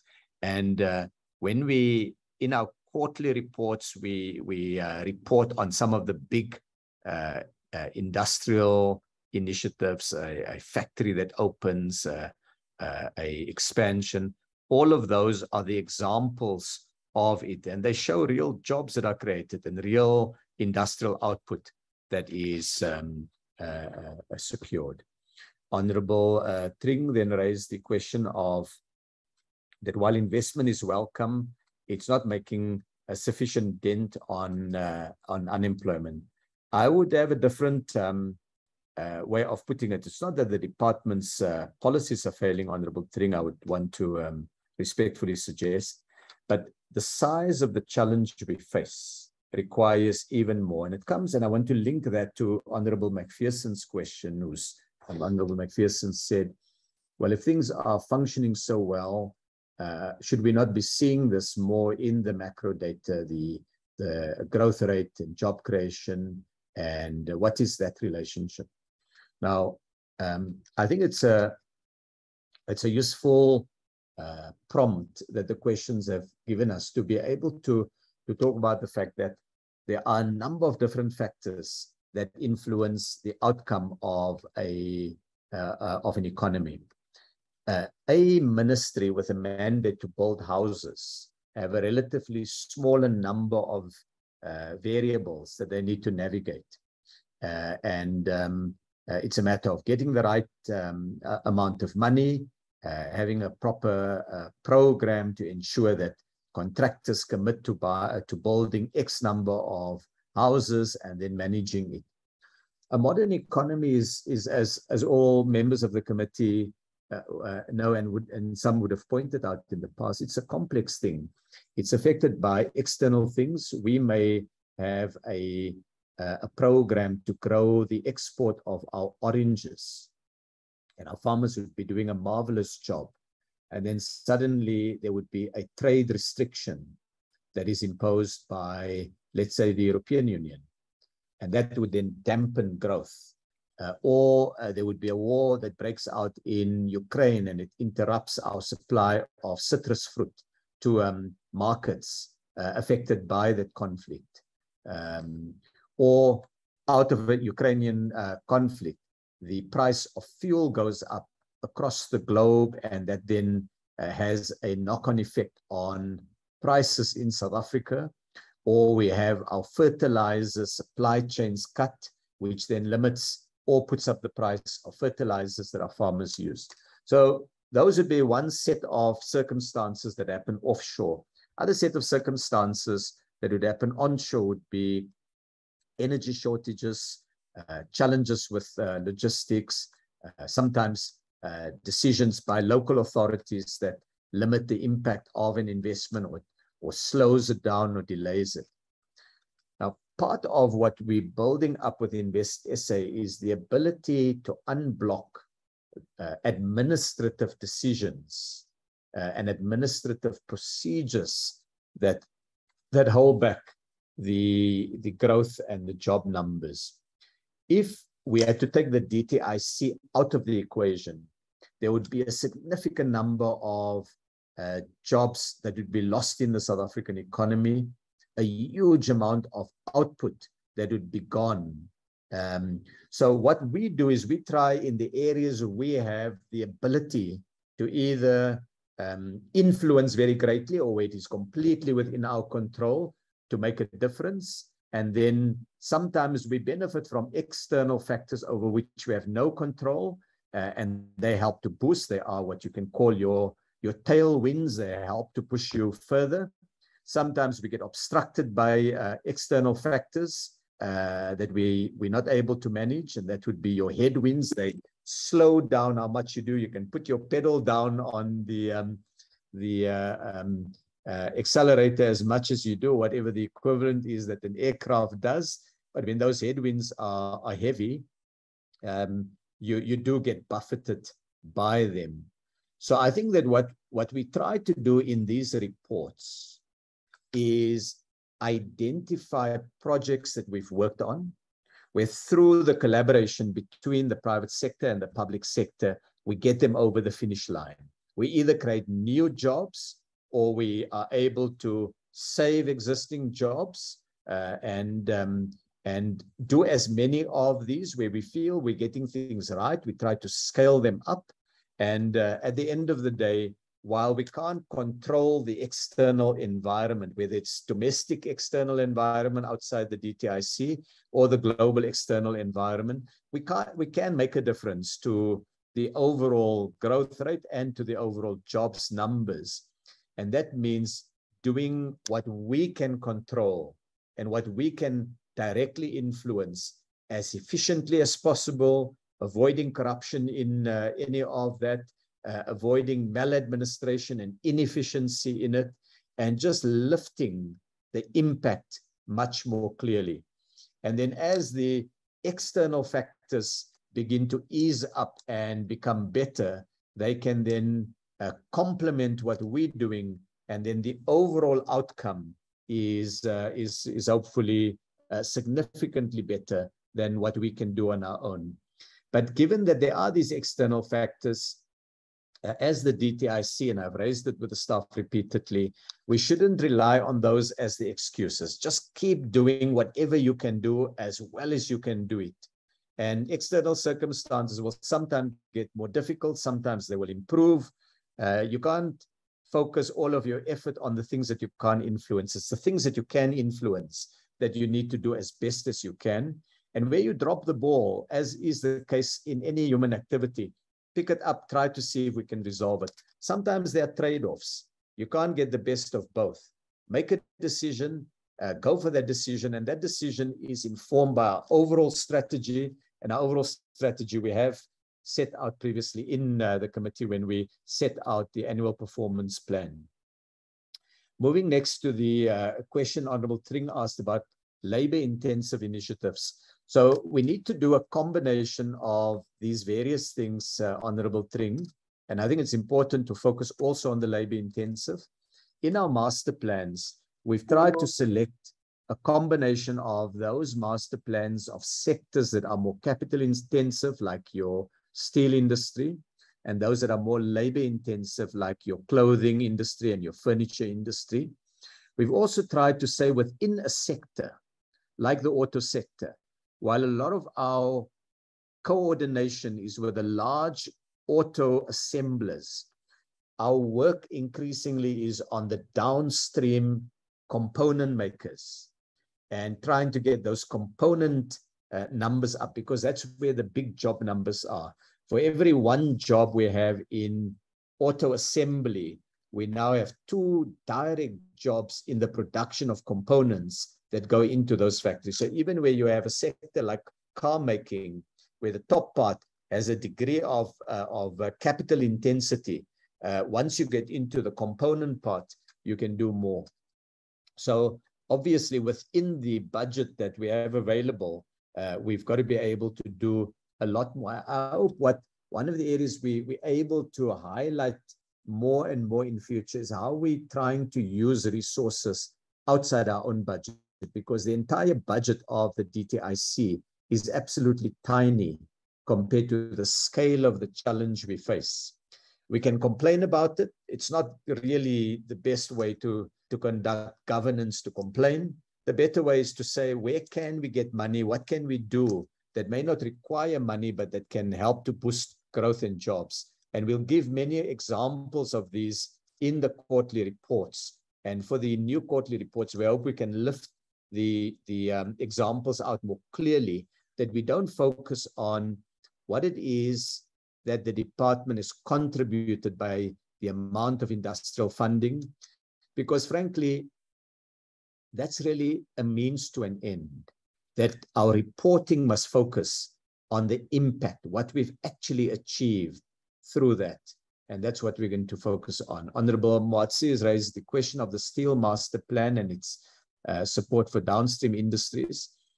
The uh, uh, reports that we've given in the past have highlighted increasingly the work we do. For example, on trade, we, we gave the example of wheelbarrows. Now, wheelbarrows is a downstream product. It's not the steel that is produced by the steel makers. It's uh, they would use uh, um, steel that have been locally produced. The car industry is another example where we see more opportunity to use South African steel in downstream uh, uh, examples. And of course, tool making is quite important. On procurement, our principal support on procurement is to try to, to get uh, a great uh, support for making of cars in South Africa using the APDP.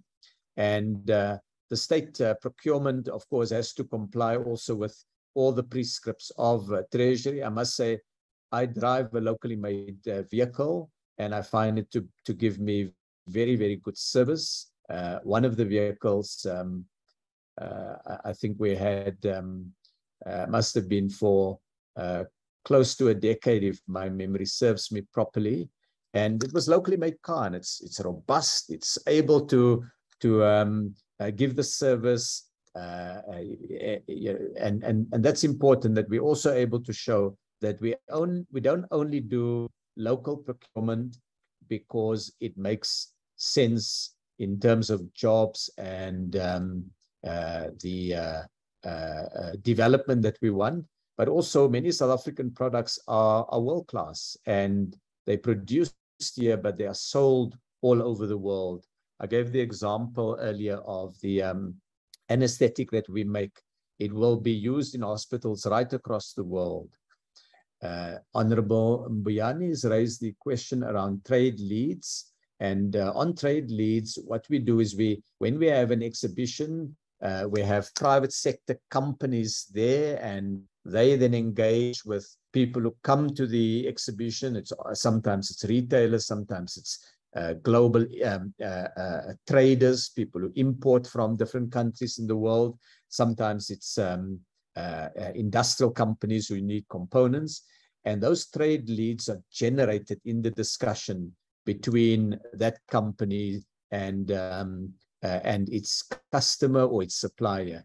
Sometimes we get trade leads from South African embassies abroad who say that they've been approached. Can uh, would South Africa be be able to provide a particular uh, product uh, in in a local market? Sometimes those trade leads come from the work that we do on the visits that the president uh, uh, does to different countries, where uh, we've done a, a, major drive in West Africa. We, we're about to do one in Saudi Arabia and Kenya. And these ones are about selling South African products and South African firms to uh, global uh, global markets. Uh, Honorable Mbuyane has also raised the question of the competition concentration report and what steps the Competition Commission is taking. I would identify four, four steps that the Commission is taking. The first is they're focusing uh, carefully on um, market inquiries. And so they take each market um, and when they believe that there is uh, grounds for it, they do a market inquiry. They're busy at the moment on a major market inquiry uh, on online platforms. They're also busy now with an online, with a market inquiry on uh, fresh uh, produce that would be part of like vegetables and so on. That would be their focus. And, um, and that's an important area. The second one is uh, in mergers, they look at whether a merger will increase concentration. And if it does, uh, is there a compelling public interest reason to permit that um, merger or should the merger be prohibited? Uh, on uh, cartels, which is the third one, they, they look at um, cartels in concentrated markets. It's easier to get um, collusion going in highly competitive markets uh, the value of cartels to those firms is much less. So they look at uh, cartels and they've had quite a lot of success in what we can call cartel busting. And then finally, they look at um, abuse of dominance where large firms uh, are able to take their market power and keep smaller players out or visit high costs on consumers. And those, um, those ones are quite a significant part we found that the law was inadequate to deal with the issue of um, market concentration. So uh, we had already gotten a early version of the Competition Commission report in 2017, and that uh, contributed to a major review of competition policy and changes to the law that were introduced in 2019. And now any cases that the competition in, uh, uh, commission is investigating can use these new provisions in the law. Uh, Honorable Macpherson, uh, Honorable um, Buyani asked about the property sector. It's quite a quite an important sector, uh, but the Competition Commission has got a large number of sectors that are potentially subject to a market inquiry. So they look at a range of criteria to identify a sector and they take into account the resources that they have available.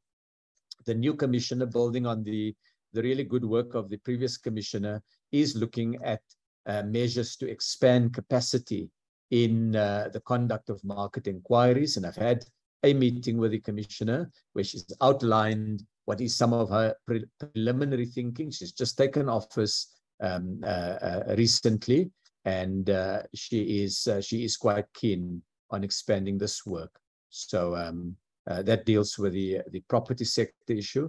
Honorable Macpherson has raised the question on the auto green paper uh, adoption.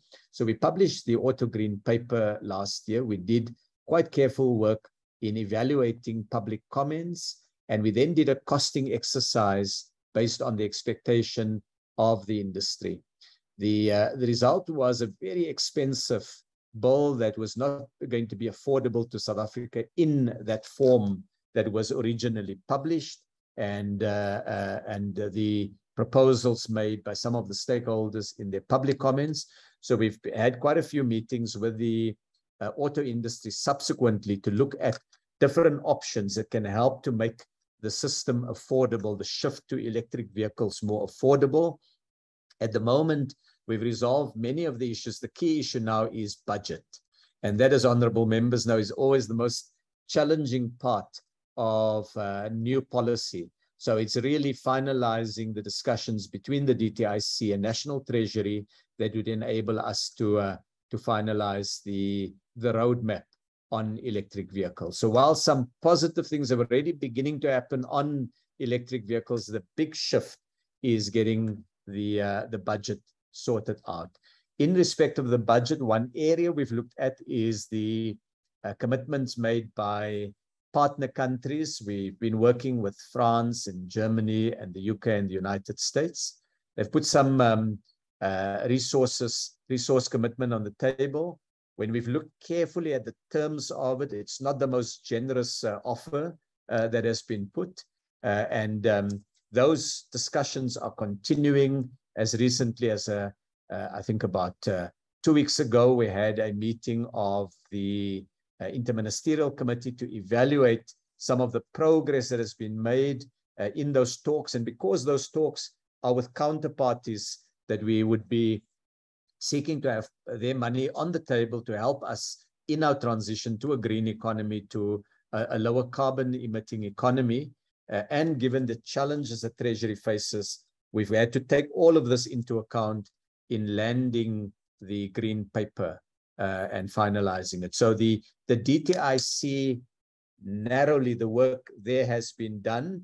It's now a matter of getting the resource envelope in place. Uh, on the question of trade agreements and um, the performance indicators, obviously on AGOA, we're working um, hard now for the, the next period. I will be um, meeting with African trade ministers and with uh, the US uh, uh, trade minister um, in uh, December this year, uh, where we will again be talking through the AGOA issues, and then South Africa will then host the AGOA forum uh, next year, where we will have uh, everybody meeting physically. We hope uh, uh, circumstances will enable a physical meeting, and um, all of that is really about trying to put the the social case, the economic case, and let's call it the diplomatic case for um, the continuation of a AGOA. At the end of the day, it requires a decision by another party. And so all we can do is put our best put, uh, foot forward, our best arguments forward, lift out the benefits that Africa will have, and even that the US will have uh, in, in doing that. But um, uh, our ability to, uh, as in any contractual negotiation, uh, our ability is on influence rather than on guaranteed outcome.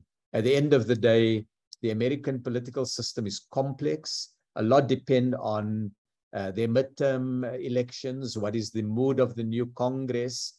And those are all matters that we'll try our best to put the best case for South Africa forward and then um, uh, hope that a compelling rational case can work. On EPA, it's the same. These are negotiations. Uh, no doubt um, our trading partners would want uh, something from us.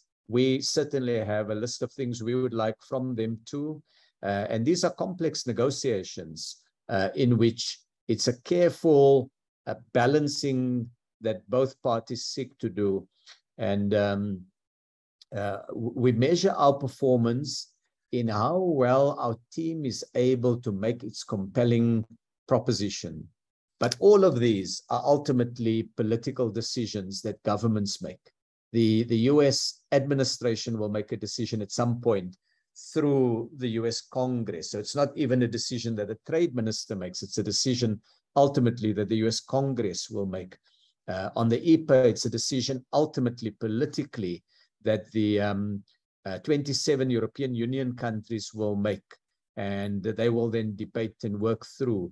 So, um, and within that, there are many and complex trade-offs um, that we, we, we, we need to work. Each time we meet a minister or a head of state, we put the South African argument very, very strongly.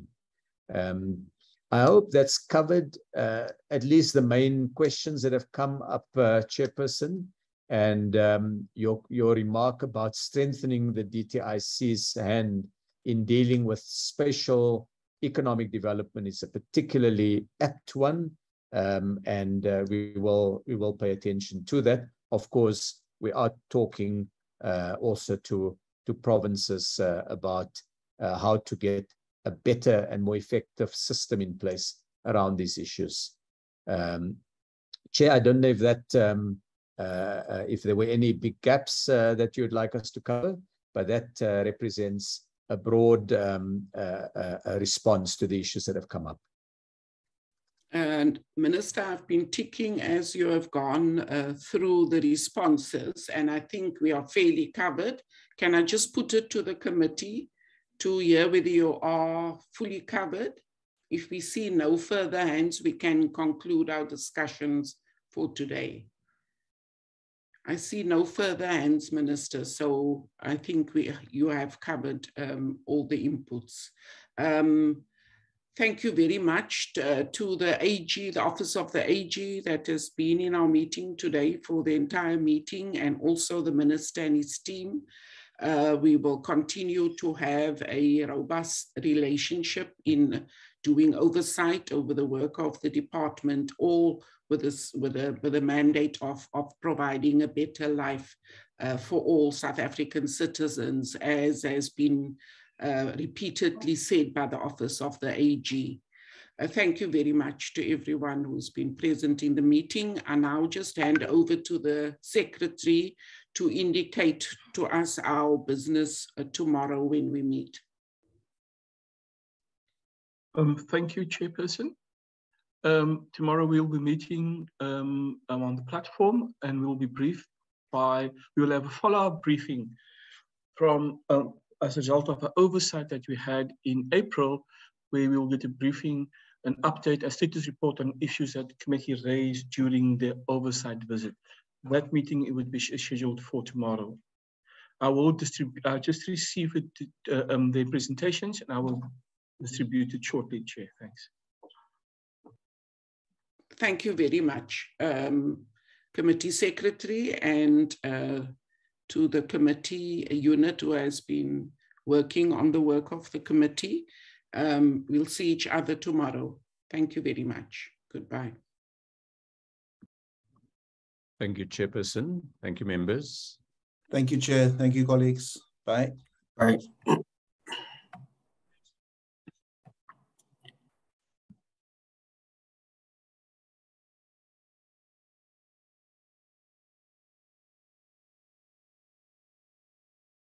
Long live the chairperson.